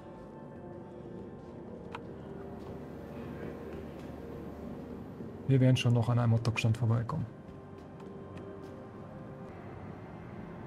Wie schon erwähnt, ist das Bounty Hunting im Moment eine der lukrativsten Möglichkeiten, äh, Geld zu verdienen. Daneben gibt es auch das Minern, das schauen wir uns später noch an. Aber jetzt gibt es erstmal ein bisschen Action. Zu dem Zwecke hole ich mir mal ähm, die äh, Mustang Alpha aus dem Hangar. Die kann, gilt durchaus als, ja, kann man durchaus als Jäger bezeichnen. Mit der Aurora kann man das aber genauso gut machen, auch als Starterschiff erhältlich. Und wir müssen nach Pack 04.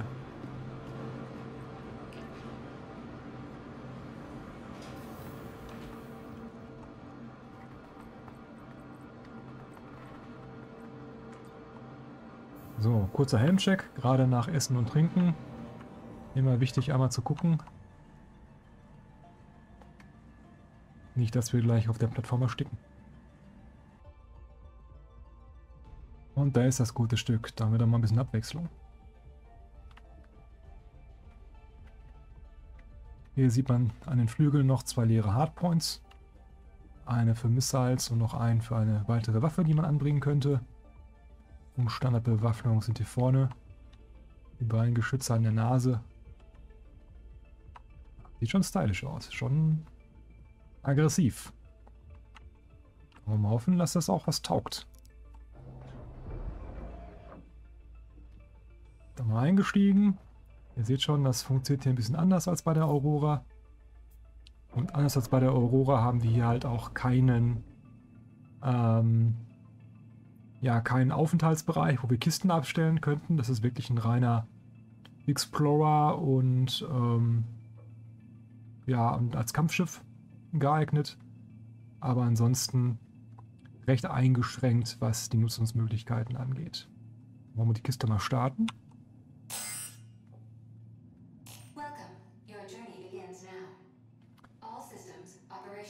Sind jetzt auch schon die Flügel ausgefahren? Ah, jetzt sind doch die Flügel aus. Ne, noch nicht. Die Flügel sind noch nicht ausgefahren. Wollen wir noch mal starten? Landing Gear einfahren. Und damit fahren auch die Flügel aus. Na, guck.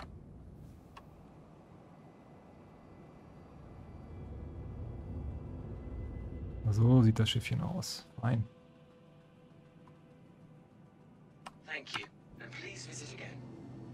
Alles klar, dann wollen wir doch mal schauen.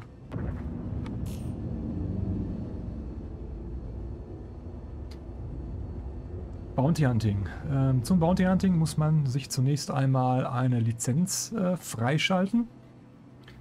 Das kann man machen, indem man ins Mobiglas geht auf den Contract Manager. Und dort findet man einen Reiter Bounty Hunter. Und hier gibt es die Tracker Training Permit Certification. Die muss man sich für 500 Alpha UEC kaufen. Und dann bekommt man einen Auftrag, ein Target zu jagen. Und wenn man das geschafft hat, dann ist man in die Bounty Hunter Gilde aufgenommen und bekommt Aufträge, mit denen man ziemlich gut Geld machen kann. Und wenn man diese erste Mission hier schafft, dann ist man zertifiziert, um die äh, Very Low Risk Targets zu jagen. Also die einfachsten und kleinsten Ziele. Und wie wir sehen, müssen wir hier 33 Millionen Kilometer hinter uns bringen. Schauen wir mal, wo das ist. Offensichtlich bei Crusader. 33 Millionen Kilometer ist schon eine ganz ordentliche Strecke. Da braucht man schon ein paar Minuten für, also genau der richtige Zeitpunkt, um sich einen Kaffee zu besorgen. Nach einem kurzen Schnitt bin ich so gut wie bei Crusader angekommen. Leider ist gerade aus irgendeinem unerfindlichen Grund die Mission als gescheitert angezeigt worden. Aber immerhin habe ich das Geld zurückbekommen. Das heißt, ich muss jetzt einmal in den Contract Manager gehen und die Mission neu annehmen und dann hoffe ich mal, äh, dass die Mission trotzdem wieder hier bei Crusader sein wird, damit ich nicht 30 Millionen Kilometer wieder in eine andere Richtung fliegen muss. Ansonsten muss ich mit dem kleinen Schiff vermutlich auch zwischendurch mal auftanken.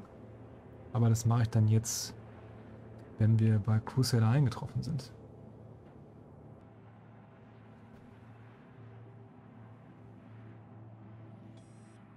Quantum travel complete. Die Sicht in diesem Cockpit ist doch schon was ganz anderes als in der Aurora. Keine störenden Verstrebungen oder ähnliches. Eine tolle Sicht in dem Teil. Aber wir gucken jetzt mal nach den Contracts. Bounty Hunting, Tracker nochmal annehmen. Den müssen wir diesmal schnappen.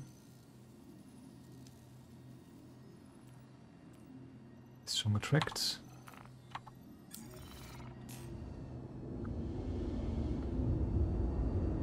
Und wie ich schon befürchtet habe,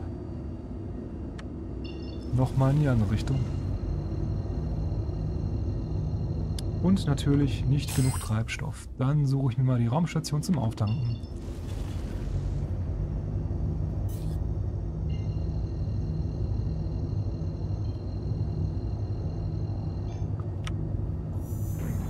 Quantum travel engaged.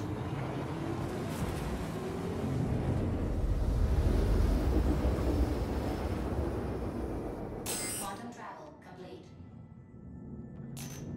Ist halt immer noch eine Alpha, ne? darf man nicht vergessen. Es funktioniert noch nicht alles so wie soll.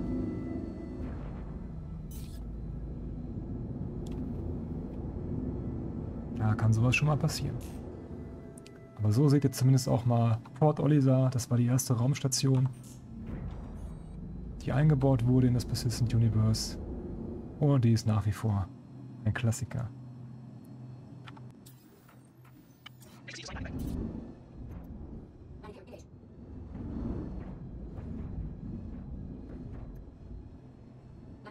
Complete. Have a pleasant stay. So, jetzt bin ich bei Port Olisar gelandet und kann euch jetzt zumindest mal zeigen, wie das mit dem Auftanken funktioniert. Dazu geht ihr mal im Moviglas, geht unten auf den Vehicle Maintenance Punkt und normalerweise sollte man das jetzt hier anklicken können. Das heißt, ich werde nochmal starten, nochmal landen und gucken, ob es dann funktioniert. Oder ich gehe einmal in die Station rein und spawne das Fahrzeug neu, dann sollte das auch funktionieren. Alpha halt. So, ihr habt nämlich immer die Möglichkeit, euer Schiff, wenn es auf einer Plattform steht, oh, zu storen eigentlich, aber hier muss ich es tatsächlich claimen. Na gut, da muss ich halt auf den Claim warten. Claim passiert immer, wenn euer Schiff äh, irgendwie abhanden gekommen ist, sei es durch Zerstörung oder anderweitig, dass ihr anderweitig von eurem Schiff getrennt werdet. Dann könnt ihr einen Claim ausschreiben und dann müsst ihr etwas warten und das Schiff ist wieder da. Je größer das Schiff, desto länger ist die Claimzeit. Wenn ihr die nötige Kohle über habt, könnt ihr auch eine Expedite-Fee bezahlen. Dann gebt ihr ein paar Credits ab und bekommt das Schiff dafür sofort oder bei größeren Schiffen deutlich schneller. Ja, jetzt warte ich hier mal noch ein bisschen Zeit und dann steige ich wieder ein und dann gucke ich mal, ob ich auftanken muss. Manchmal gibt es das dann schon auch wieder aufgetankt. Aber pro aufgetankt, hier im Waffenladen auf Port Olisar, habe ich äh, ein paar Müsli-Riegel kaufen können im Waffenladen. Jetzt äh, bin auch ich äh, wieder aufgeladen, habe keinen Hunger mehr und dann kann es gleich weitergehen mit dem Bounty Hunting. Hoffe ich doch. So, das Schiff ist wieder verfügbar. Und es ist tatsächlich als Starterschiff und leichter Frachter klassifiziert, da es tatsächlich 4 SCU Cargo Space hat. Aber mit diesen 4 SCU kann man nicht wirklich viel Geld verdienen. Also, ähm, ja, als Frachter würde ich das jetzt nicht unbedingt ansehen. Aber immerhin, man kann damit Frachtmissionen, das heißt Mission, man kann damit äh, ein bisschen handeln, aber da sollte man nicht wirklich viel von erwarten. So, jetzt hole ich das Schiff wieder raus und dann geht's weiter. Es ist auf der Mission kein Timer drauf, daran kann es also nicht gelegen haben. Es könnte sein, dass in dem Missionsgebiet, wo ich hätte hinfliegen sollen, inzwischen ein anderer ähm, Spieler gewesen ist und dann einfach dort alle Piraten abgeschossen hat. Vielleicht ist unser Target da schon rumgeflogen. Alles nicht ausgeschlossen.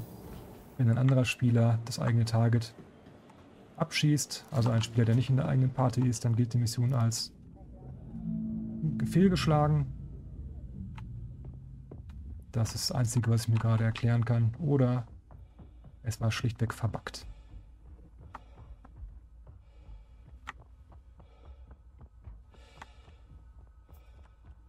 Wenn ich mich richtig entsinnere, kann man hier tatsächlich die Cargo Bay ausfahren.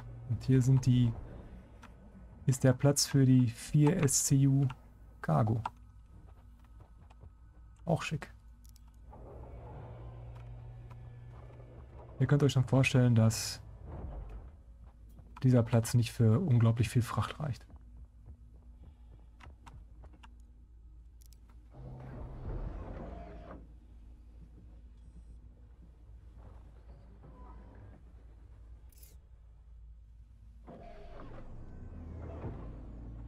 Hier habe ich jetzt gerade einen Bug, dass mein Charakter nur nach oben schaut.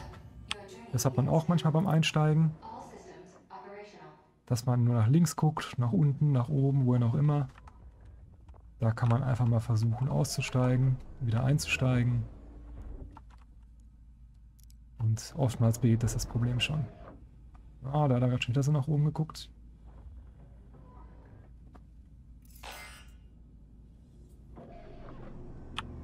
Ja, das hat nicht geholfen.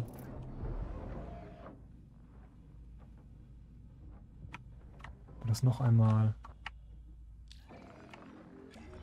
Mobilglas auf zu Interaktionsmodus.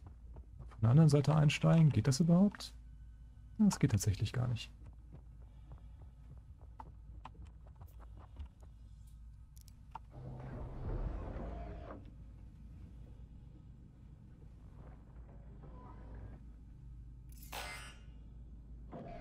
Jetzt funktioniert es wieder. So, wir sind wieder in unserem Schiff und können starten.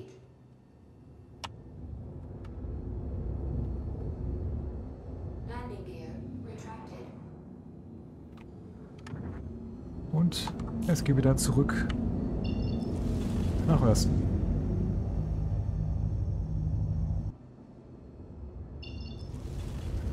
So, da bin ich wieder zurück in Osten. Noch ist die Mission aktiv. Ich muss hier einmal noch um den Planeten drumherum springen. Diesmal das funktioniert mit dem OM, mit der OM-Boje. Jetzt kann ich hier nach Aberdeen springen. Das ist der Mond, wo die Mission sein wird.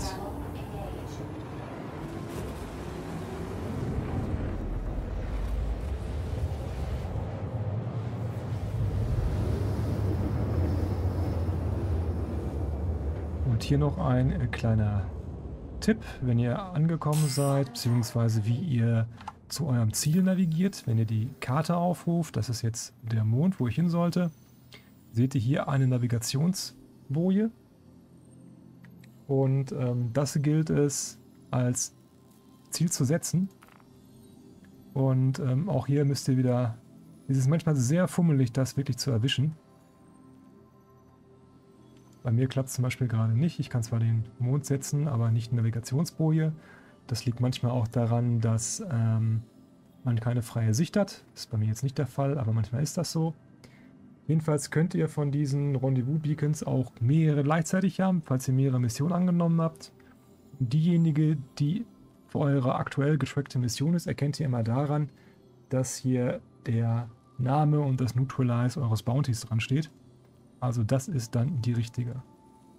Versuch nochmal, das jetzt richtig ins Target zu bekommen. Jetzt kann ich es auswählen.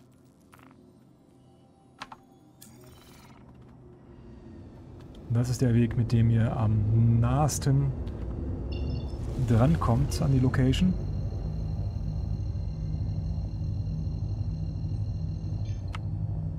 Quantum travel engaged. Quantum travel complete. Die Location ist meistens wie hier ein Asteroidenfeld oder auch eine Raumstation. Und da ist auch schon das Target angekommen. Manchmal muss man ein bisschen länger warten. Aber wir können jetzt schon mal in die Richtung fliegen. Ich halte meine Kampfgeschwindigkeit meistens im grünen Bereich oder gehe auch manchmal leicht in den roten rein. Das kommt auf das Schiff an, wie träge es sich verhält. Wichtig ist, dass ihr G drückt, bis ihr auf dem automatischen Modus seid, sofern ihr äh, gegimmelte Waffen habt. Das heißt Waffen, die sich selber drehen können. Das macht das Zielen deutlich einfacher. Es gibt auch Fixed Weapons. Jetzt haben wir einen Kontakt festgestellt und müssen das aufschalten. Das ist in der Regel die Taste T oder die Taste 5 für feindliche Ziele. Und jetzt seht ihr, dass sich das Fahnenkreuz verändert, wenn wir in die Nähe des Vorhaltepunktes kommen. Das heißt, wir haben das System halt aufgeschaltet und mit der entsprechenden Maustaste, wo unsere Waffen drauf liegen, können wir das Feuer eröffnen.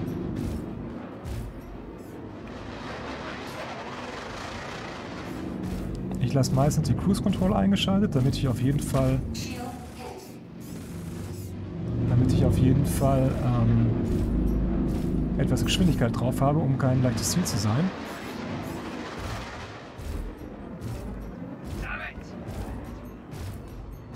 Da flucht er schon.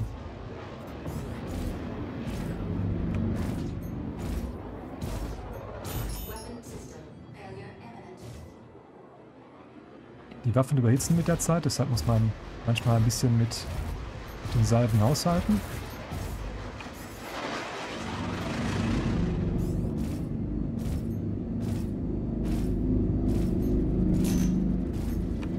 Ich strafe auch immer mit den Tasten A und D, ebenfalls um kein allzu leichtes Ziel zu sein. Gerade die KE-Gegner, die sind nicht so richtig gut im Zielen, da hilft Strafen.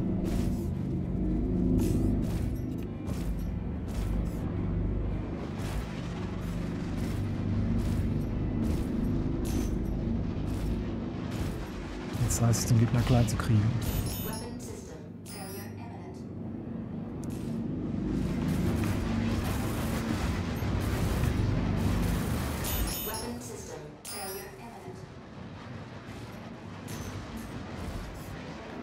Dieses Verhalten der Schiffe, das Überhitzen, kann man halt beeinflussen, indem man bessere Systeme einbaut, bessere Kühler, bessere Powerplants, bessere Waffen natürlich.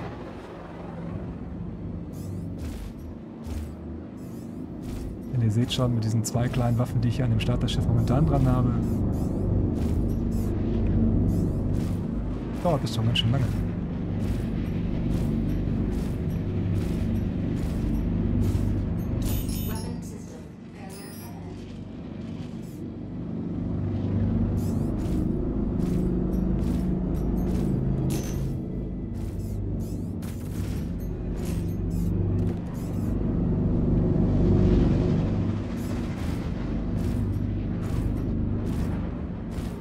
Müsst auch immer darauf achten, dass ihr den Gegner nicht rammt, weil das tut auch ganz schön weh. Inzwischen hat er auch schon Freunde mitgebracht, die uns ebenfalls beschießen.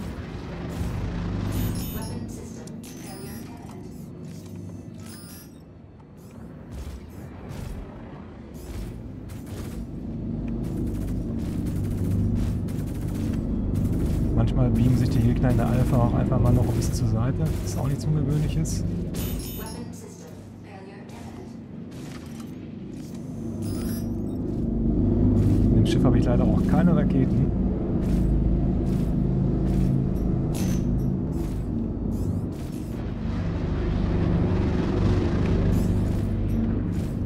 Sich also, doch für Bounties das Schiff so schnell wie möglich abzugraden. Entweder mit besserer Ausrüstung. Jawohl. Oder äh, auf ein besseres Schiff, auf einen besseren Fighter.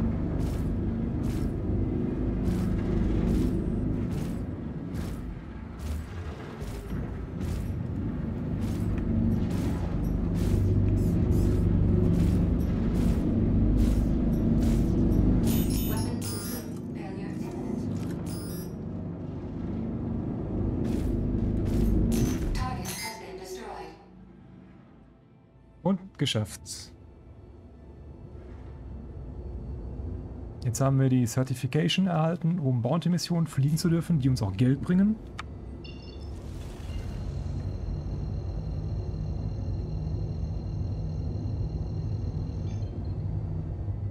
Aber jetzt versuchen wir erstmal rauszuspringen aus dem Bereich hier. Dass nicht noch Piraten ankommen, die uns hier wegschießen. Aus irgendeinem Grund sagt er uns hier too close, obwohl das eigentlich nicht sein dürfte. Dann fliegen wir zum OM2. Quantum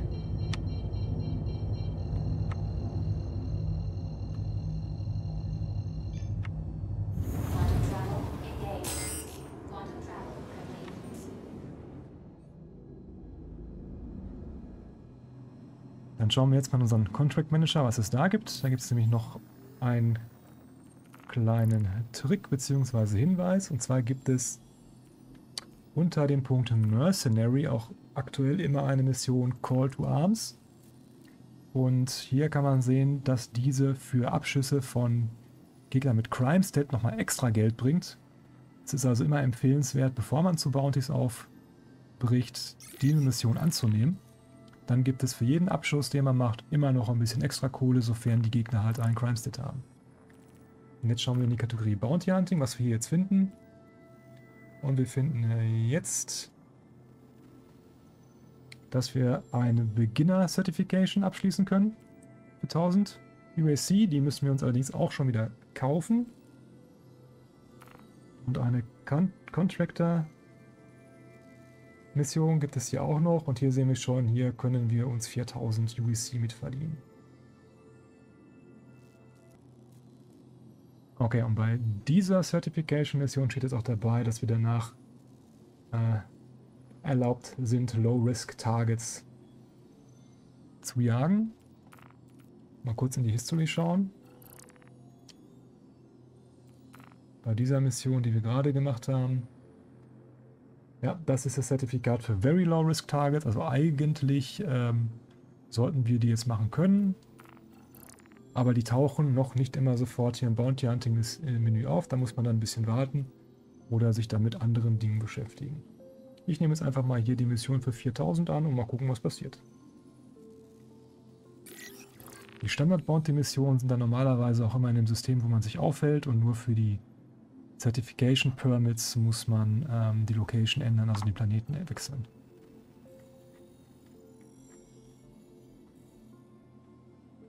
In diesem Fall ist unser Rendezvous Beacon diesmal bei Magda.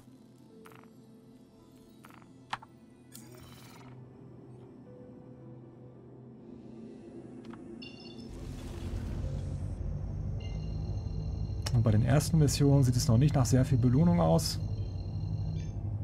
Da bekommt man 4000 UC oder 5000 UC, aber bei den späteren Missionen, gerade bei den Group Permits, die später dazukommen, bei den High Risk und Very High Risk Targets, verdient man 40 oder 60.000 Credits auf einen Schlag.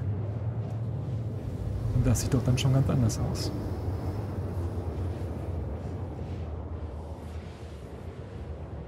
Das Muster ist immer dasselbe. Man bekommt einen Rendezvous-Beacon. Das ist in der Regel bei den Monden des jeweiligen Planeten.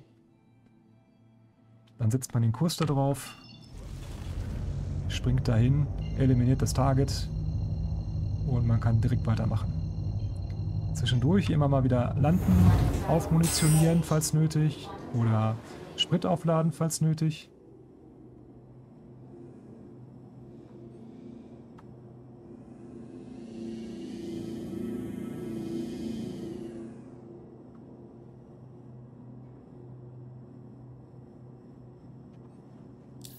Jetzt muss ich mal noch die richtige Mission tracken. Der hat bei mir umgeschaltet auf die Mercenary-Mission.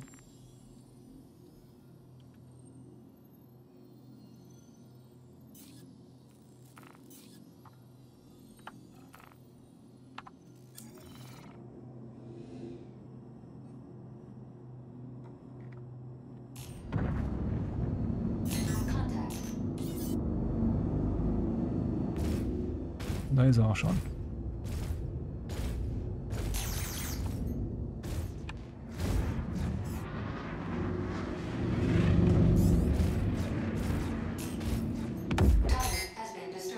Und das ging jetzt auch schon deutlich schneller als die andere Mission. Vorhin hatten wir mit der Eclipse ein bisschen Pech, das ist schon ein ziemlich dicker Pot, aber das ging auch jetzt schön zügig. Das waren leicht verdiente 4000 Alpha UEC. Und sie haben jetzt auch eine von den Very Low Risk Target Missionen, die jetzt aufgetaucht sind. Und die laufen auch nach dem gleichen Muster ab. Ich track die mal. Schauen, wo wir hin müssen.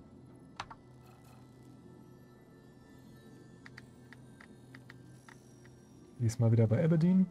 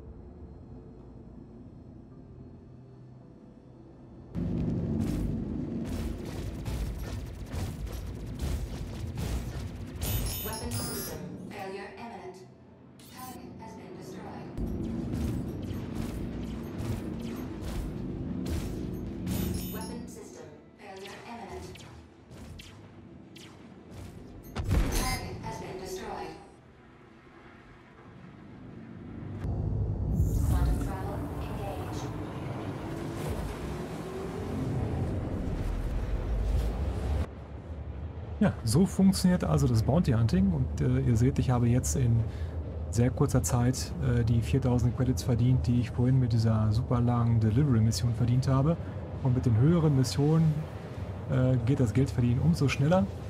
Äh, ich kann euch aber empfehlen, äh, von den Starterschiffen relativ zügig abzugraden, also entweder die Starterschiffe selber besser auszustatten, das dürfte auch schon einiges bringen, aber vielleicht auch später auf ein potenteres Kampfschiff, wenn ihr es denn mit dem Bounty Hunting ernst nehmen wollt.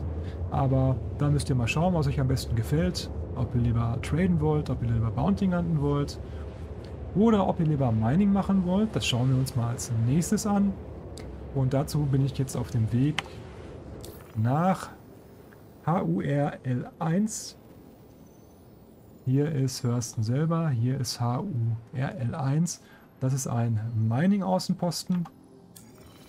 Ja, und äh, hier kann man äh, bestimmtes Equipment für Mining kaufen, auch zu einem günstigeren Preis. Deshalb werde ich jetzt hier landen und dann schauen wir uns das Ganze mal an.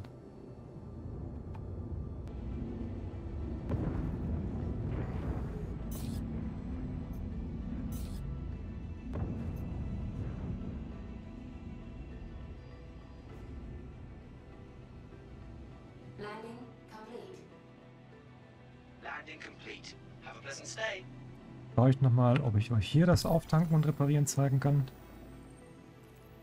Maintenance-Menü.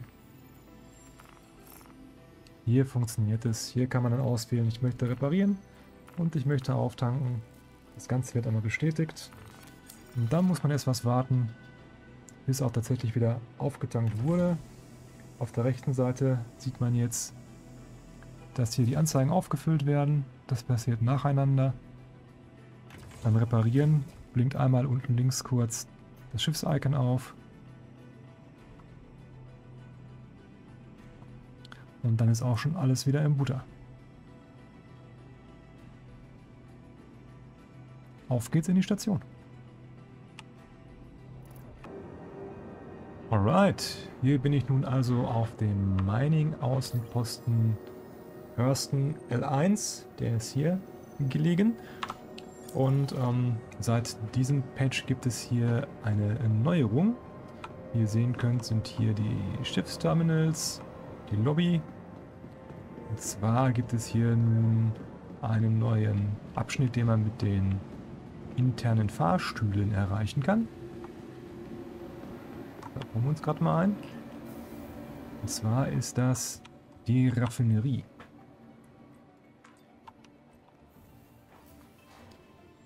Auf der einen Seite kann man in der Raffinerie Erze, die man mit großen Schiffen abgebaut hat, wie der Prospector oder der Mole von Asteroiden oder großen planetaren Brocken, hier äh, raffinieren und bekommt dann dafür quasi das äh, doppelte Geld, wenn es raffiniert wurde. Das kostet allerdings Zeit und Geld, das zu raffinerieren. Auf der anderen Seite gibt es hier jetzt aber auch ähm, einen speziellen Mining-Shop, in dem man allerlei Mining-Bedarf bekommt und das sogar günstiger als in anderen Shops, wenn man zum Beispiel in Städten oder auf anderen Stationen unterwegs ist. Da sind wir.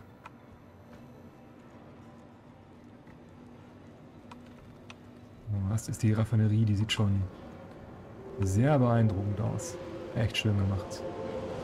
So, man muss in der Raffinerie quasi hier geradeaus durchlaufen. Ja, stillgestanden. Ach ja, die NPCs. Und man kann auf der hier die Treppe hochgehen und hier findet man die Terminals zum Verkaufen von seinem abgebauten Erz oder auch zum Raffinieren. Das zeige ich euch jetzt allerdings nicht, sondern für uns ist interessant, wenn man hier unten reingeht. Hier ist nämlich dann der Mining Support Shop, das Mining Support Center. Hier könnt ihr auch äh, Getränke und Essen kaufen. Ihr könnt hier auch Medpens und Oxypens kaufen. Aber was uns interessiert, ist zum einen diese Rüstung hier. Das ist die sogenannte Pembroke Armor. Die ist besonders geeignet, ähm, um in extremen Außen, ähm, ja, aus, Witterungsbedingungen zu arbeiten. Die Pembroke Armor ist für extreme Hitze aus, ähm, ausgelegt. Und es gibt dazu auch noch eine, eine, eine ich glaube, Novrisk heißt die Armor für extreme Kälte. Hier seht ihr schon, dass die von minus 75 Grad bis plus 225 Grad geht. Bei der anderen Rüstung ist es dann quasi umgekehrt so ungefähr. Und hier kostet die Rüstung halt nur die Hälfte, nämlich nur 5000 statt den sonst 10.000 Credits. Ich kann euch empfehlen, die zu kaufen. Die Rüstung hat auch einen ähm, riesigen Rucksack, wie ihr hinten sehen könnt. Da passen bis zu 101, äh, nee, 109 Erdbrocken rein. Erzbrocken, beziehungsweise das sind dann nicht Erze, sondern das sind dann ähm, Kristalle. Und ähm, das heißt, wenn ihr so einen Rucksack voll macht, habt ihr da ungefähr 30.000 Credits an Gegenwert drin, wenn das voll Hadanit ist, dem ähm, wertvollsten der Kristalle. Und dazu braucht ihr auch noch den passenden Helm. Äh, ansonsten ist euer Schutz halt nicht vollständig. Dann wirkt dieses bis 225 Grad Celsius halt nicht. Auch der Helm ist hier etwas günstiger. Das kann ich euch auf jeden Fall empfehlen. Das könnt ihr entweder hier direkt an den Mannequin kaufen oder aber ähm, hier gibt es auch irgendwo Shopping Terminals, wo ihr direkt einkaufen könnt. Wo ist er? Zum Automaten. Hier, hier sind sie. Wo Clothing steht. Da bekommt ihr nicht nur Kleidung, sondern alles, was dieser Shop hier anzubieten hat. Zum Beispiel auch diese Mining-Köpfe für die äh, größeren Schiffe. Und was ihr auch kaufen könnt, ist das Multitool, das Greycat Multitool. Das solltet ihr euch auch auf jeden Fall kaufen. Und dazu gibt es auch verschiedene Aufsätze, nämlich zum einen einen Aufsatz zum Minern per Hand, das Orbit, das könnt ihr euch auf jeden Fall kaufen. Es gibt auch einen Cutter-Aufsatz und noch einen, ähm, einen Traktorstrahl-Aufsatz. Schadet nicht, wenn man die alle habt, dann müsst ihr gucken, was euer Budget so hergibt. Mit dieser Ausstattung könntet ihr schon mit dem Minern loslegen und das zu Fuß erledigen. Allerdings ist die Ausbeute, ist das Ganze relativ mühsam, sage ich mal. Da müsst ihr ähm, in, eine entsprechende, in eine entsprechende Höhle finden, dorthin fliegen und dort zu Fuß hingehen und kleinere Brocken finden, die aufknacken und dann bekommt ihr aus einem so Brocken sieben, acht, neun Stück vielleicht raus. wenn ihr Glück habt. Das dauert aber ewig. Was ich euch empfehlen kann, dazu benötigt ihr auf jeden Fall auch die Armor, ist allerdings das Minern mit einem Mining-Bodenfahrzeug, nämlich dem Grackett Rock. Und ähm, glücklicherweise haben wir noch weitere Terminals, nämlich diese Vintage Terminals. Ihr erinnert euch, hier kann man äh, Fahrzeuge mieten. Und in diesem speziellen Shop könnt ihr euch dann hier zum Beispiel die Grackett Rock mieten und das geht schon los mit ähm, gerade mal 5500 Credits für einen Tag. Das habt ihr also mit 1, 2, 3 Starter-Bounty-Missionen ganz schnell verdient. Was ich euch dann allerdings auch noch empfehlen würde, ist, dass ihr auch ein Fahrzeug habt oder ein, ein Schiff habt, mit dem ihr dieses Ding transportieren könnt. Ihr könnt das zwar an einer Mining-Station auf einem Mond spawnen und dann damit einfach losdüsen. Allerdings sind die Entfernungen relativ weit und ähm, dann dauert das Ganze etwas länger. Wenn ihr allerdings keine Option habt, ein entsprechendes Schiff zu benutzen, dann ähm, kann man das auch so machen. Müsst ihr schauen, ob sich das dann wirklich lohnt. Alternativ könnt ihr euch hier auch noch, ähm, muss ich mal hier durchklicken, eine Cutlass Black ausleihen. Die ist natürlich schon relativ teuer, die kostet hier schon 43.000 für einen Tag. Allerdings habt ihr ähm, diese Ausgaben mit einem Ausflug quasi auch schon wieder drin, wenn ihr da eine Weile zugange seid. Ich sag mal, in ein, zwei Stunden habt ihr das Geld durch Minern wieder reingeholt. Ähm, allerdings ist euer Profit natürlich entsprechend größer, wenn ihr nicht erst ein teures Schiff noch dazu mieten könnt, sondern nur die 5500 Credits ähm, für den Rock ausgebt. Die Prospector kann man sich hier zum Beispiel auch mieten. Das ist ein Ein-Mann-Mining-Schiff, mit dem ihr auf Asteroiden oder äh, große Brocken auf Planeten knacken könnt. Jetzt zeige ich euch gleich noch die Unterschiede. Allerdings kann man mit der Prospector nur relativ kleinere Brocken ähm, aufknabbern. Daher finde ich, lohnt sich das Ausleihen der Prospector nicht unbedingt. Ähm, das lohnt sich erst, wenn man eine eigene hat und da auch einen besseren Mining-Kopf draufsetzen kann, der äh, mit allen Brocken quasi klarkommt. Das sind die Schiffe, die es, beziehungsweise die Fahrzeuge, die es hier auszuleihen gibt. Ja, und ich zeige euch jetzt mal, wie so ein Mining mit äh, der Rock und einem entsprechenden Schiff aussieht. Und dazu laufe ich jetzt mal zurück zu den Schiffsterminals. So, wie ihr sehen könnt, ähm, sieht man das hier überhaupt? Ah, nee, sieht man das tatsächlich nicht, aber ähm, ich besitze die Rock bereits, denn ich habe mir die Rock für Ingame-Credits gekauft. Ich habe da um die 150.000 Credits für zusammen gefarmt und dann kann man sich den Rock auch ähm, permanent in-game kaufen. Und zwar unten bei New Deals in Lorville, was wir uns am Anfang schon einmal angeschaut haben. Ähm, jetzt werde ich hier mal ein Schiff rausholen, mit dem ich das Ding auch transportieren kann. Wie ihr sehen könnt, habe ich hier auch die Cutlass Black. Da passt der Rock recht bequem rein. Der fällt unter die Kategorie Medium Freighter, also mittlerer Frachter.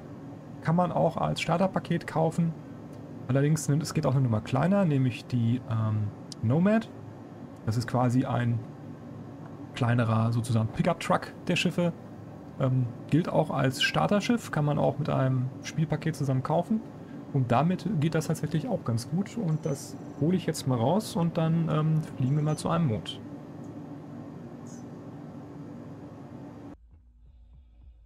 Und da ist das gute Stück.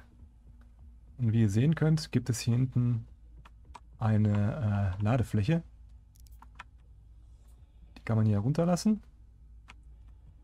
Hier passen auch die 24 SCU Cargo drauf, äh, die das Schiff transportieren kann. Damit könnt ihr sehr gut, das heißt sehr gut, aber ihr könnt auf jeden Fall schon mal ordentlich mit traden am Anfang. Passt schon ordentlich was rein. Und diese Ladefläche ist gerade groß genug, um da auch einen Rock drauf zu fahren. Oder ein anderes Bodenfahrzeug mit ähnlichen Ausmaßen. Und das reicht schon, um äh, bequem auf einem Mond Mining zu betreiben. Das Schiff ist auch relativ neu reingekommen. Das hat hier auch kein traditionelles Fahrgestell und sitzt auf dem Boden aus, sondern hat hier diese, dieses Hovering-System. Hier vorne ist das Cockpit. Drei Waffenpunkte, ist also gar nicht mal so schlecht auch bewaffnet mit den Gimbals. Und hier ist der Eingang.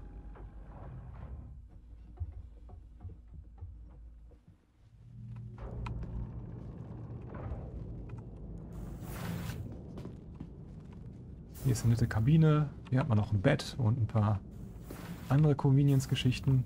Hier kann man schon ganz gut aushalten. Jetzt mache ich aber erstmal Licht an. Damit das Cockpit reinlässt. Sehr schön.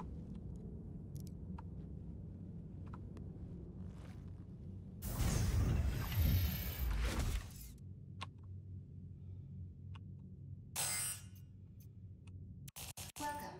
Your journey begins now. All systems operational. Oh, jetzt sieht man es doch besser. Hier in einer kleinen Küche. Mit Kochgelegenheit. Ein paar Gewürze und andere Geschichten. Hier, ganz wichtig. Im Weltraum muss man fit bleiben. Proteinpulver und andere Geschichten. Und hier drüben das Bettchen, auf dem man sich halt auch ausloggen kann, wenn man mal ähm, im Schiff bleiben möchte und irgendwo anders wieder einloggen möchte und nicht auf der ähm, letzten Raumstation. Aber jetzt geht's erstmal los.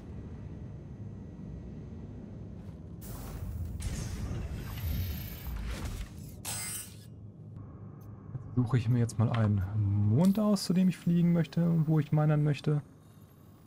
Hurston ist ja das nächstgelegene System.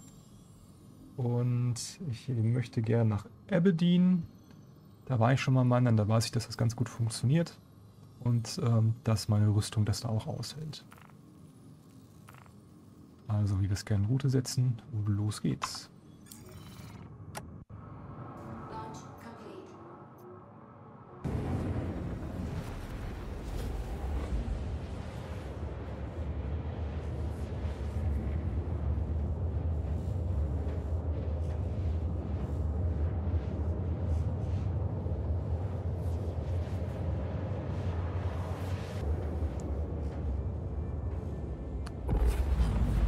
Da ist er schon. Was wir nun tun müssen, ist einen Mining-Außenposten zu finden. Die haben entweder einen Namen wie zum Beispiel äh, Shubin Mining Facility auf manchen Monden. Auf manchen Monden wie hier bei Hurston haben die allerdings auch Abkürzungen wie HDMS, Hurston Dynamics Mining, was auch immer. Station vielleicht. und dazu klicken wir jetzt einmal oder werfen wir mal den Quantum Drive an und gucken mal, was wir hier finden können. Vorzugsweise auf der hellen Seite des Mondes, da ist das äh, Mining doch deutlich einfacher. Im Moment sieht es aber so aus, als wäre alles immer auf der dunklen Seite. Dann müssen wir uns halt da erstmal das Fahrzeug holen und dann auf die andere Seite rüberfliegen.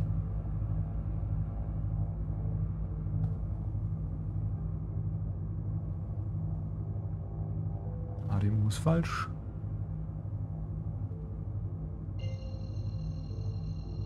Dann fliegen wir hier zu HDMS Anderson.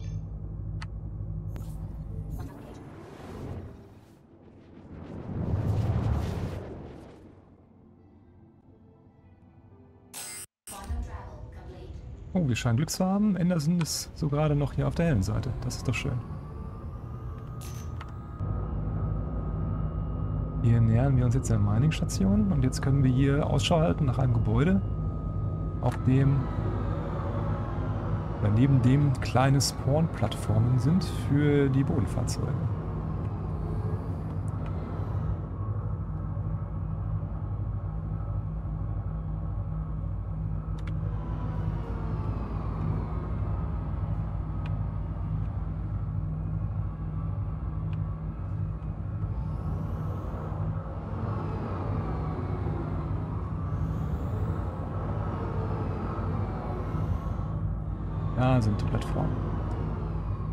Ich nicht allzu weit mit dem Rock durch die Gegend düsen muss, äh, lande ich jetzt in der Nähe. Wenn ich hier einen flachen Untergrund finde.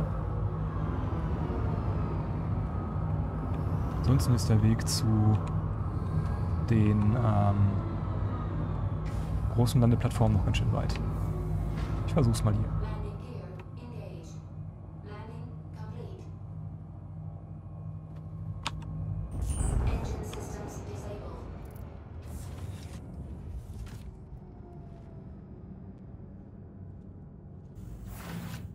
Nicht vergessen, die richtige Rüstung anzuziehen.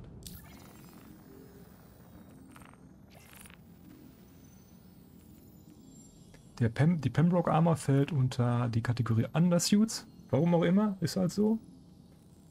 Wählen wir die also einmal aus. Da müssen wir einmal abspeichern. Ansonsten bekommen wir den richtigen Helm nicht zur Auswahl. Dann gehen wir rüber zu Armor. Helm, ihr seht schon, die anderen Rüstungsteile bekomme ich jetzt gar nicht zur Auswahl. Und wir suchen uns hier den passenden Pembroke Helm heraus. Speichern.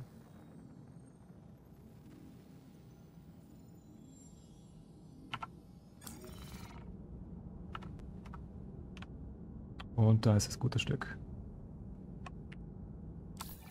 Bereit zum Aufbruch.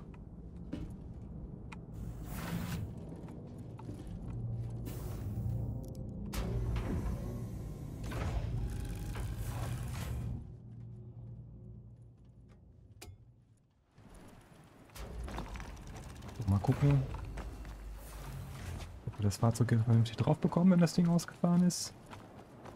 Ja, das sollte funktionieren. Das sieht gut aus. Dann müssen wir jetzt hier in das benachbarte Gebäude laufen. Und dort sind die Terminals zum Spawn.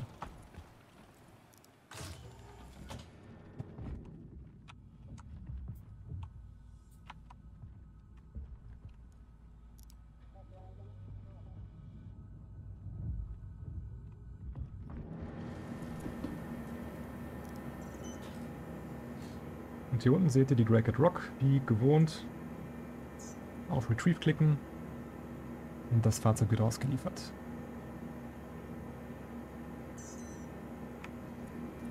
PB01, da steht's schon.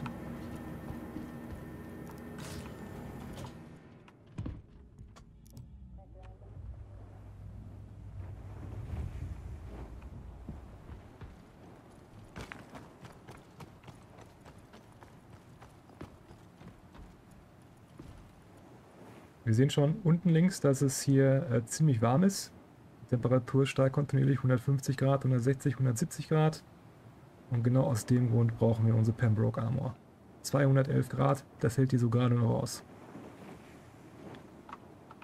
Denn wie ihr sehen könnt, ist der Rock ein offenes Gefährt. Wir haben da drin also keinerlei Schutz vor der Witterung. deshalb sollten wir das äh, selber gut aushalten können. Dann klettern wir mal rein. Fahrzeuge, die Bodenfahrzeuge steuern sich im Grunde recht ähnlich zu den ähm, Schiffen. Wir können auch hier mit R das Fahrzeug hochfahren, fahrbereit machen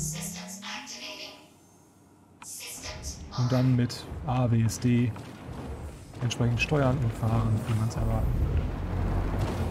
So, der Trick ist jetzt bei der Nomad, dass man den Rock rückwärts, im Rückwärtsgang auflädt, damit man den Rock noch wieder verlassen kann. Das sieht gut aus. Nicht zu nah hinten dran fahren, nicht zu weit vorne an die Kante fahren.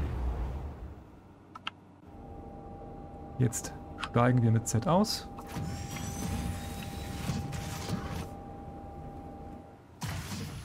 Und jetzt ist es wichtig, dass wir die Rampe nicht wieder einfahren. Wir werden jetzt mit offener Rampe fliegen über den Planeten. Denn ansonsten glitscht der Rock total rum, springt darin rum und könnte rausfallen, auf die Seite fallen und dann war es das. Deshalb äh, habe ich festgestellt, ist es am sichersten, wenn man die Rampe einfach offen lässt. Wir fliegen sowieso hier nur auf dem Planeten ein bisschen rum. Und daher ist das sicher genug. Der hat da einen guten Halt drin. Der kann nicht rausfallen, selbst wenn man auf 90 Grad irgendwie ähm, äh, einstellt den, den, den Winkel. Also das ist kein Problem. Jetzt gehen wir wieder an Bord und dann suchen wir uns mal was zum Minern. Wie gesagt, wenn ihr kein Schiff habt, könnt ihr jetzt halt mit dem Rock von dieser Station aus auch losdüsen. Aber wie schon erwähnt, die Entfernungen sind relativ weit. Deshalb ist das mit einem Schiff auf jeden Fall effektiver.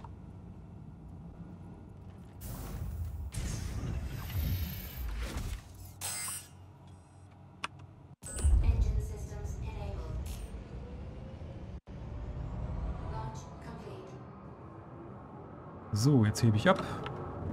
Wie ihr sehen könnt, der Rock ist hinten stabil drin. Hüpft auch nicht hin und her oder so, sondern sitzt da schön stabil drin und jetzt können wir den mitnehmen, wohin auch immer wir möchten. Ich werde jetzt mal ein bisschen aus der Atmosphäre rausfliegen, um ein bisschen Entfernung zu machen von der Station, weil erfahrungsgemäß ist in der Nähe der Station nicht so viel los. In der oberen Atmosphäre fliegt man ein bisschen flotter. Dann machen wir jetzt erstmal hier ein bisschen Entfernung und gehen dann wieder runter und starten die Suche. Es macht durchaus Sinn, relativ niedrig zu fliegen. Denn wenn wir da die Scanner anschmeißen, ähm, suchen wir nach den kleinen nicht nach den großen Mining-Noden, nach den Diamanten, nicht nach den Felsen. Und die tauchen nur innerhalb, ich glaube, von zwei Kilometer Radius auf. Deshalb brauchen wir den Scanner auch gar nicht so weit aufladen, aber wir müssen natürlich relativ niedrig fliegen, damit wir auch mitbekommen, dass wir so etwas finden. Ja, einen möglichst großen Radius auch ab, äh, abklappern können. So, ihr braucht auch gar nicht allzu langsam zu fliegen. Es reicht, wenn ihr im grünen Bereich bleibt. Jetzt drücken wir die Taste Tab, um den Scanner-Modus anzuwerfen. Laden mit der rechten Maustaste gedrückt halten, einmal kurz den Scanner auf. Und jetzt geht die Suche los. Das ist jetzt wirklich ein bisschen Geduldsspiel. Jetzt muss man halt einfach liegen, regelmäßig scannen. Und dann sehen wir gleich hoffentlich irgendwo mal einen großen Würfel auftauchen. Jetzt lade ich mal ein bisschen größer auf für eine größere Entfernung. Hier ist gerade tatsächlich gar nichts. Das heißt, hier unten haben wir jetzt eine Node. Das ist jetzt ein ähm, Felsen. Den brauchen wir nicht. Den könnt ihr tatsächlich nur mit der Mole und mit ähm, eventuell mit der Prospector abbauen. Je nachdem, wie groß der Felsen ist. Wir fliegen also weiter. Da ist ein, angesprochenes, ein angesprochener Würfel. Der markiert ein Gebiet, in dem es äh, Noden gibt. Und hier muss man jetzt ranfliegen. Weiter scannen. Da sehen wir einen Felsen. Den brauchen wir nicht. Fliegen wir hier nach links rüber. Und wir suchen jetzt nicht nach Felsen, sondern nach Kristallen.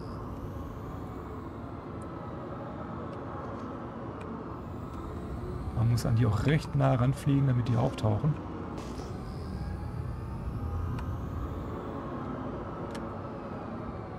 Aber auch hier ist es nur ein Fels. Also weiter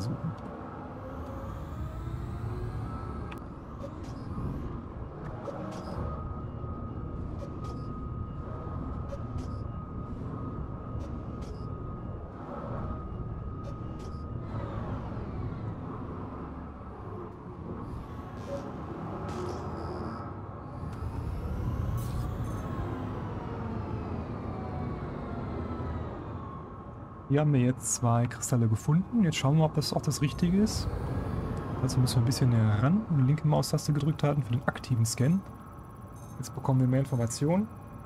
Und auf der rechten Seite sehen wir, dass wir da Hadanit haben. Das ist genau das, was wir haben wollen. Das ist das Wertvollere von den Metallen, äh, von den Kristallen. Es gibt auch noch Dolvin und noch ein anderes, aber die sind quasi nichts wert. Man sollte sich hier wirklich auf Hadanit beschränken. Das ist das effizienteste zweite scheint auch Haranit zu sein. Dann suchen wir uns mal einen Landeplatz. Sollte was möglichst Flaches sein, wo man den Rock gut aus- und wieder einladen kann.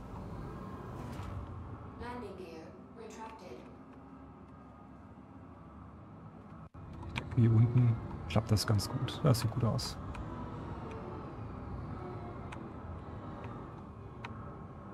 Vorsichtig landen. Landing Gear ausgefahren lassen natürlich.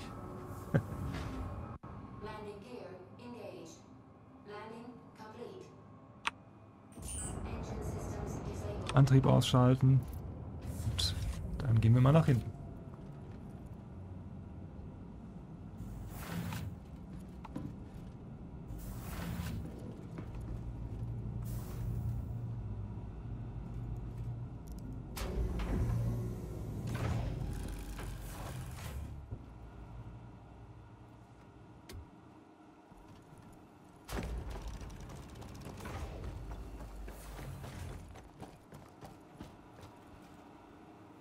Rock ist direkt betriebsbereit, das heißt, wir brauchen einfach nur einsteigen.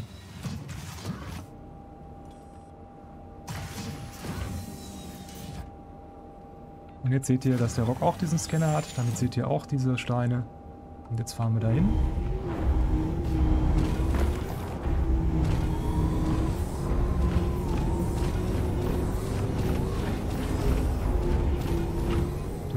Schwerkraft auf dem Mond muss man echt aufpassen, dass man den Rock nicht aus Versehen auf die Seite legt, weil dann ist vorbei und dann müsst ihr euch einen neuen holen, den bekommt ihr so gut wie nicht mehr aufgerichtet.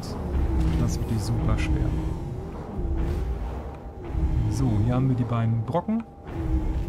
Hier werde ich jetzt stehen bleiben und werde den Motor ausmachen, weil ansonsten seht ihr schon, glitscht das Fahrzeug so ein bisschen hin und her und das ist fürs Zielen gleich sehr ungünstig.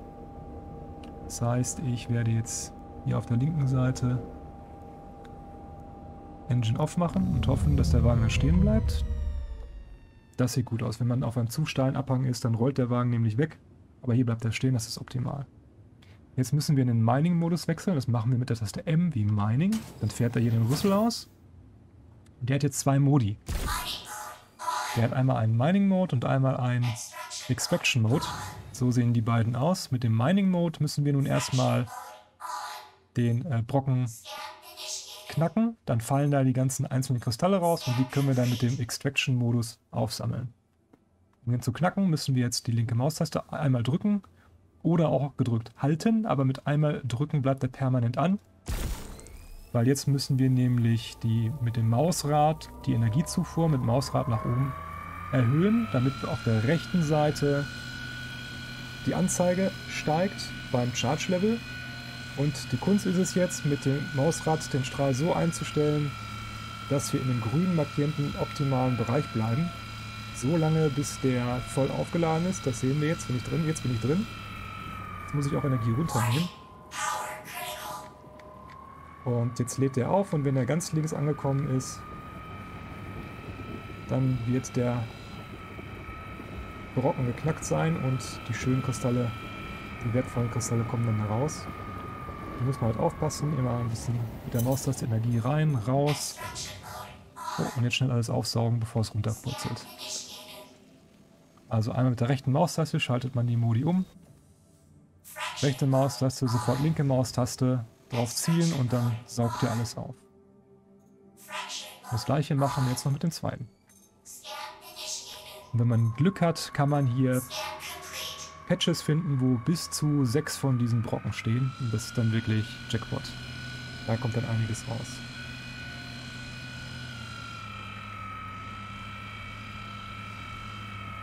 Es erfordert am Anfang allerdings einiges an Übungen erstmal herauszufinden, welche Intensitäten man braucht, wie weit man vor- und zurück scrollen muss, um wieder genug Energie zu haben, damit er hier drin bleibt.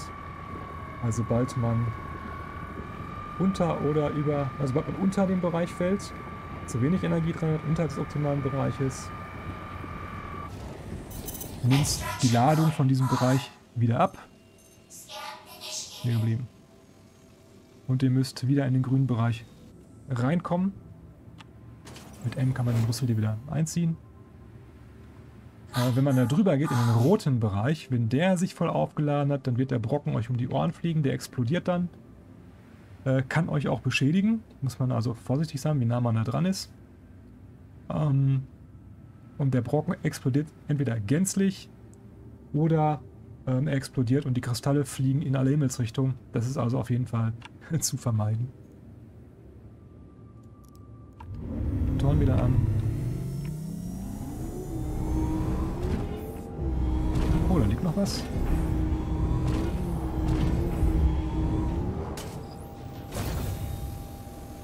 Komm her. Hab dich. Ja, und jetzt müssen wir wieder einparken ins Schiff.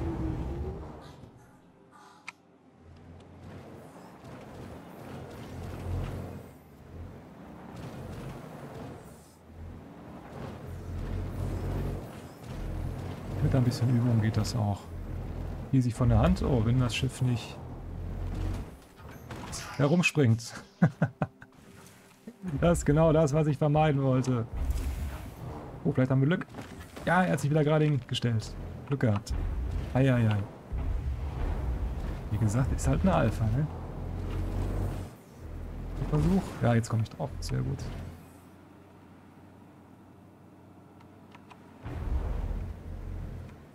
Dann suchen wir uns mal den nächsten Brocken.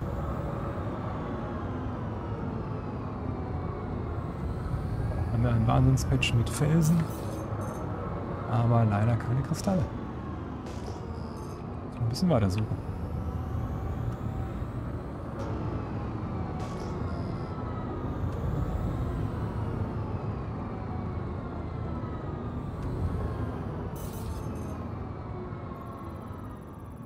Und haben wir Glück. Was haben wir hier?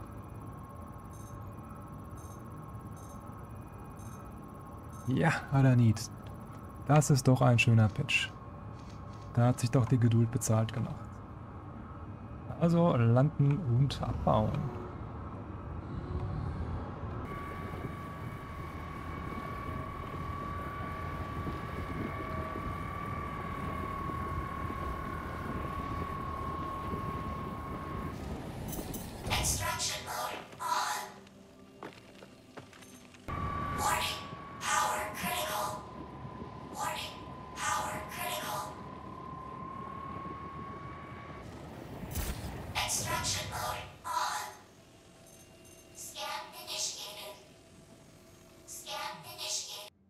Das war doch recht ordentlich.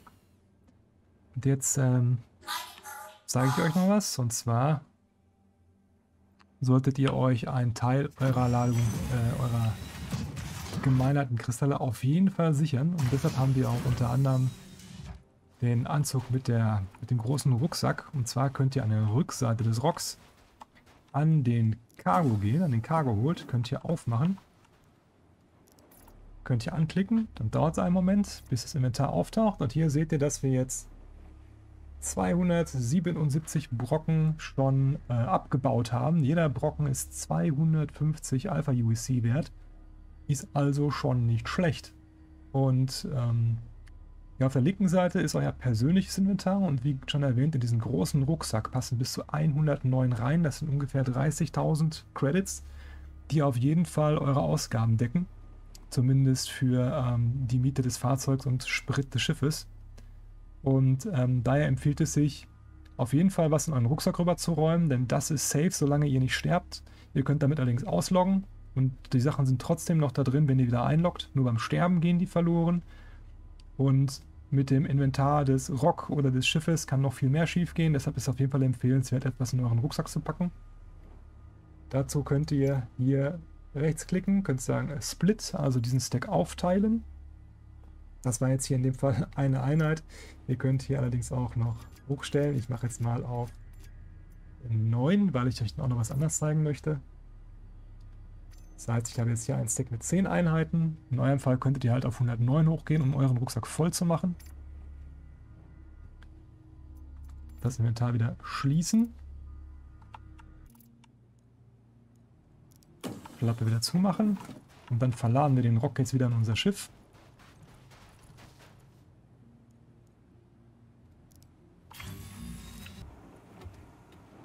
Wenn ihr wieder in eurem Schiff seid, gibt es auch noch eine andere Methode, wie ihr die Zeit verlängern könnt, die ihr Minern seid. Die ist zum einen begrenzt durch den Sprit, den ihr in eurem Schiff habt. Die Nomad ist ziemlich sprithungrig, die ist jetzt schon auf unter 75% Sprit runter. Heißt, da muss man regelmäßig sowieso zu den Außenposten fliegen und wieder auftanken. Aber wenn ihr zum Beispiel sowas habt wie eine Cutlass Black, die mehr Sprit hat oder was auch immer für ein Schiff, ähm, könntet ihr auch den, die Sachen, die ihr in eurem persönlichen Inventar habt, an das kommt ihr mit der Taste I, in eine Kiste verstauen. Das geht, indem ihr dann äh, euren Stack hier rechtsklickt und dann könnt ihr sagen Store All Commodities. Dann kommt ein Warnhinweis, dass das Ganze in eine, aus eurem Inventar rausgenommen wird und in eine Cargo-Box gepackt wird. Dann könnt ihr OK klicken. Und jetzt hat unser Charakter diese Kiste in der Hand. Das hoffe ich jedenfalls. Der hat sie nicht in die Hand, der hat sie direkt auf den Boden gestellt. Okay, da steht die Kiste. Und dort sind jetzt, äh, ist jetzt euer, da sind jetzt diese 10 Einheiten drin. Und dadurch könnt ihr also, wenn ihr ein großes Schiff habt, jede Menge von diesen Kisten erzeugen. Aber Vorsicht, ähm, momentan wird auch das nicht persistent gespeichert. Und wenn ihr euer Schiff schrottet, dann äh, sind die natürlich auch weg. Oder wenn ihr einen Disconnect habt, sind die wahrscheinlich auch weg. Und von daher kann ich davon eigentlich nur abraten und sagen, packt euren Rucksack voll. Wenn ihr möchtet, packt noch den Rock voll und fliegt spätestens dann einmal verkaufen. Sicher ist sicher, was habt ihr denn in der Tasche? Nicht, dass ihr hinterher äh, Stunden an Arbeit quasi ähm, umsonst geleistet habt. Ja, und ähm, das mit dem Verkaufen, das sage ich euch jetzt als nächstes. Also zurück zur Mining Station.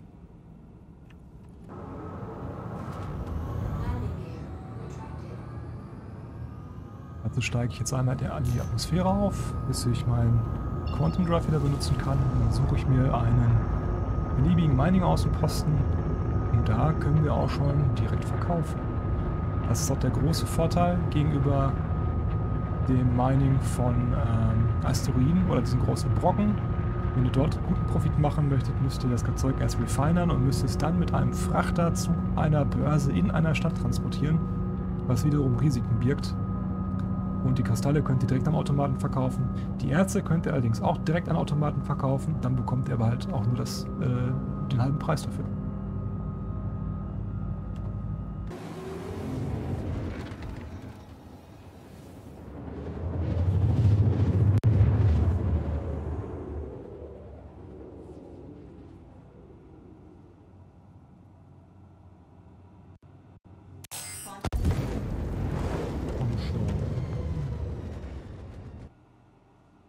Leider ist gerade genau das passiert, bevor ich gewarnt habe. Leider ist beim äh, Anflug zur Mining-Station mein Schiff der Meinung gewesen, durch den Planeten springen zu müssen. Das habe ich natürlich leider nicht überlebt. Alles ist äh, weg, Inventar vom Schiff, vom Rock und persönlichen Inventar, alles weg. Deshalb bin ich jetzt noch einmal in der Cutlass Black unterwegs. Und ähm, da kann ich einmal kurz zeigen, äh, dass es auch mit der hier hervorragend funktioniert. Ihr seht schon, das Schiff ist ein bisschen größer. Für bis zu drei Personen ausgelegt. Da könnt ihr also auch mit äh, euren Kumpels zusammen los. Hier ist der Co-Pilotensitz. Hier gibt es noch ein ähm, Geschütz. Hier seht ihr, passt, die, passt der Rock auch bequem rein. Hier ist auch noch Platz für ein paar Kistchen. Und die Luke ist auch bequem groß, um rein und rauszufahren. Und hier könnte dann zum Beispiel einer in der in, meiner Rock bleiben. Der andere ist als Pilot unterwegs, scannt die Umgebung. So kann man sich die Aufgabe ein bisschen teilen. So geht es natürlich auch. Ein- und Ausfahrt ist natürlich auch etwas bequemer als mit der Roommate. Das klappt schon ganz gut. Also meine ich jetzt noch ein bisschen was, um euch zu zeigen, wie das Verkaufen funktioniert.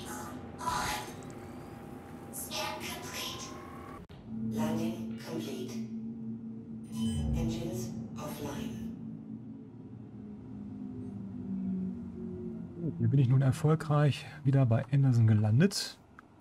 Jetzt geht's ans Verkaufen. Kaching. Ich habe die äh, gleichen Voraussetzungen wiederhergestellt. Ich habe hier wieder eine Kiste als Fracht in meinem Schiff. Um zu zeigen, wie das funktioniert. Mein Rock hat eine ganz gute Füllmenge. Ich habe in meinem Rucksack was drin. Wir können mal schauen, wie wir daraus Geld machen können. Und dazu muss ich jetzt erst einmal hier in der Mining Facility Anderson den Storage, das Storage-Gebäude finden.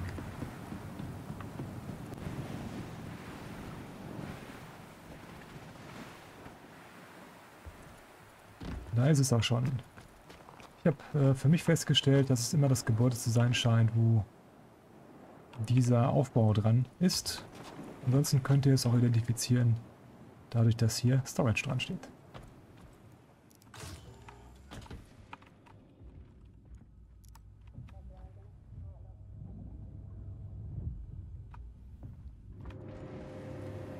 Im Storage-Gebäude findet ihr dann irgendwo einen Verkaufsterminal. Und hier können wir nun endlich unsere Kristalle verkaufen. Wenn ich so stellen kann, dass man es erkennen kann. Hier oben stellt man dann auf Sell um. Als nächstes muss man auswählen, äh, woraus man verkaufen möchte. Ihr seht schon, ich kann hier meinen Rock auswählen, mein Personal Inventory und die Cutlass Black. Fangen wir mit der Rock an. In der Mitte seht ihr hier, ah, ich habe hier Hardanit geladen. Ich kann hier unten auswählen. Alles. Ich habe 198 Units drin. Kann die verkaufen zu einem Preis von jeweils 200 und wie viel sind das? 82 sogar? Sind das 82? Ist auf jeden Fall dann ein guter Preis. Kann man schlecht erkennen, ne? Kann ich hier ranzoomen? Kann ich nicht weiter ranzoomen. Fall kann ich sagen, verkaufen. Es gibt dann mir nochmal die Bestätigung. Möchtest du wirklich die verkaufen? Ja, möchte ich. Und ihr seht 52.000 durch die knapp 200 Einheiten aus meinem Rock. Das war doch schon mal nicht schlecht. Spackt das Display ein bisschen rum. Egal. Auf jeden Fall habe ich die Kohle bekommen. Dann kann ich umschalten. Mal gucken. Cutlass Black. Auch hier zeigt er mir meine 10 Einheiten, die ich in die Kiste gepackt habe. Ah, es sind also 262 pro Einheit. Cell. Jawohl. Nochmal 200.000. Jetzt hat er das richtig gemacht. Hier sieht man dann Aufploppen, dass da was hinzugekommen ist bei den eigenen Credits. Und jetzt habe ich noch was in meinem Personal Inventory. Das sind nochmal 109 Einheiten. Das sind nochmal 28.000.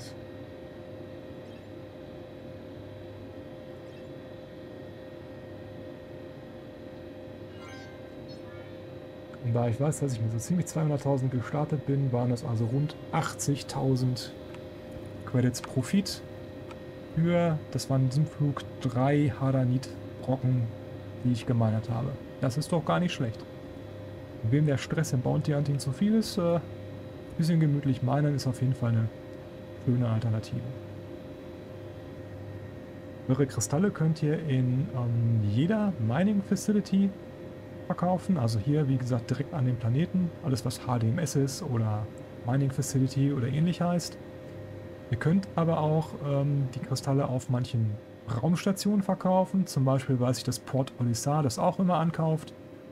Da bin ich mir nur nicht sicher, wie gut die Preise sind, aber die waren auf Port Olisar bisher nicht schlecht, auch so um die 260. Bei den anderen Raumstationen kann ich jetzt momentan nicht sagen, wie es im aktuellen Patchstand ist. Auf jeden Fall sind hier diese Planetenoberflächen nicht die einzigen Spots, wo ihr die Kristalle verkaufen könnt. Und da sind wir auch schon am Ende des Guides. Ich hoffe, ihr hattet Spaß damit, konntet was lernen und ich konnte euch Star Citizen ein bisschen schmackhaft machen. Ja, wenn euch das Video gefallen hat, wenn ihr was gelernt habt, lasst mir gerne einen Daumen nach oben da. Und noch einmal zur Erinnerung, in der Videobeschreibung habe ich für euch meinen persönlichen Republic Code reingeschrieben. Wenn ihr den benutzt, bekommt ihr 5000 Alpha UEC bei der Registrierung als extra Guthaben äh, ja, freigeschaltet und könnt euch damit schon mal ein paar schöne Sachen kaufen, wie die Rüstung oder das Multitool. Oder es reicht schon fast, um euch den Grey Cat Bock zu leihen. 5000 Credits geschenkt. Wer nimmt das denn nicht? Das soll es gewesen sein. Ich hoffe, ihr hattet viel Spaß. Wir sehen uns im nächsten Video. Ciao, ciao.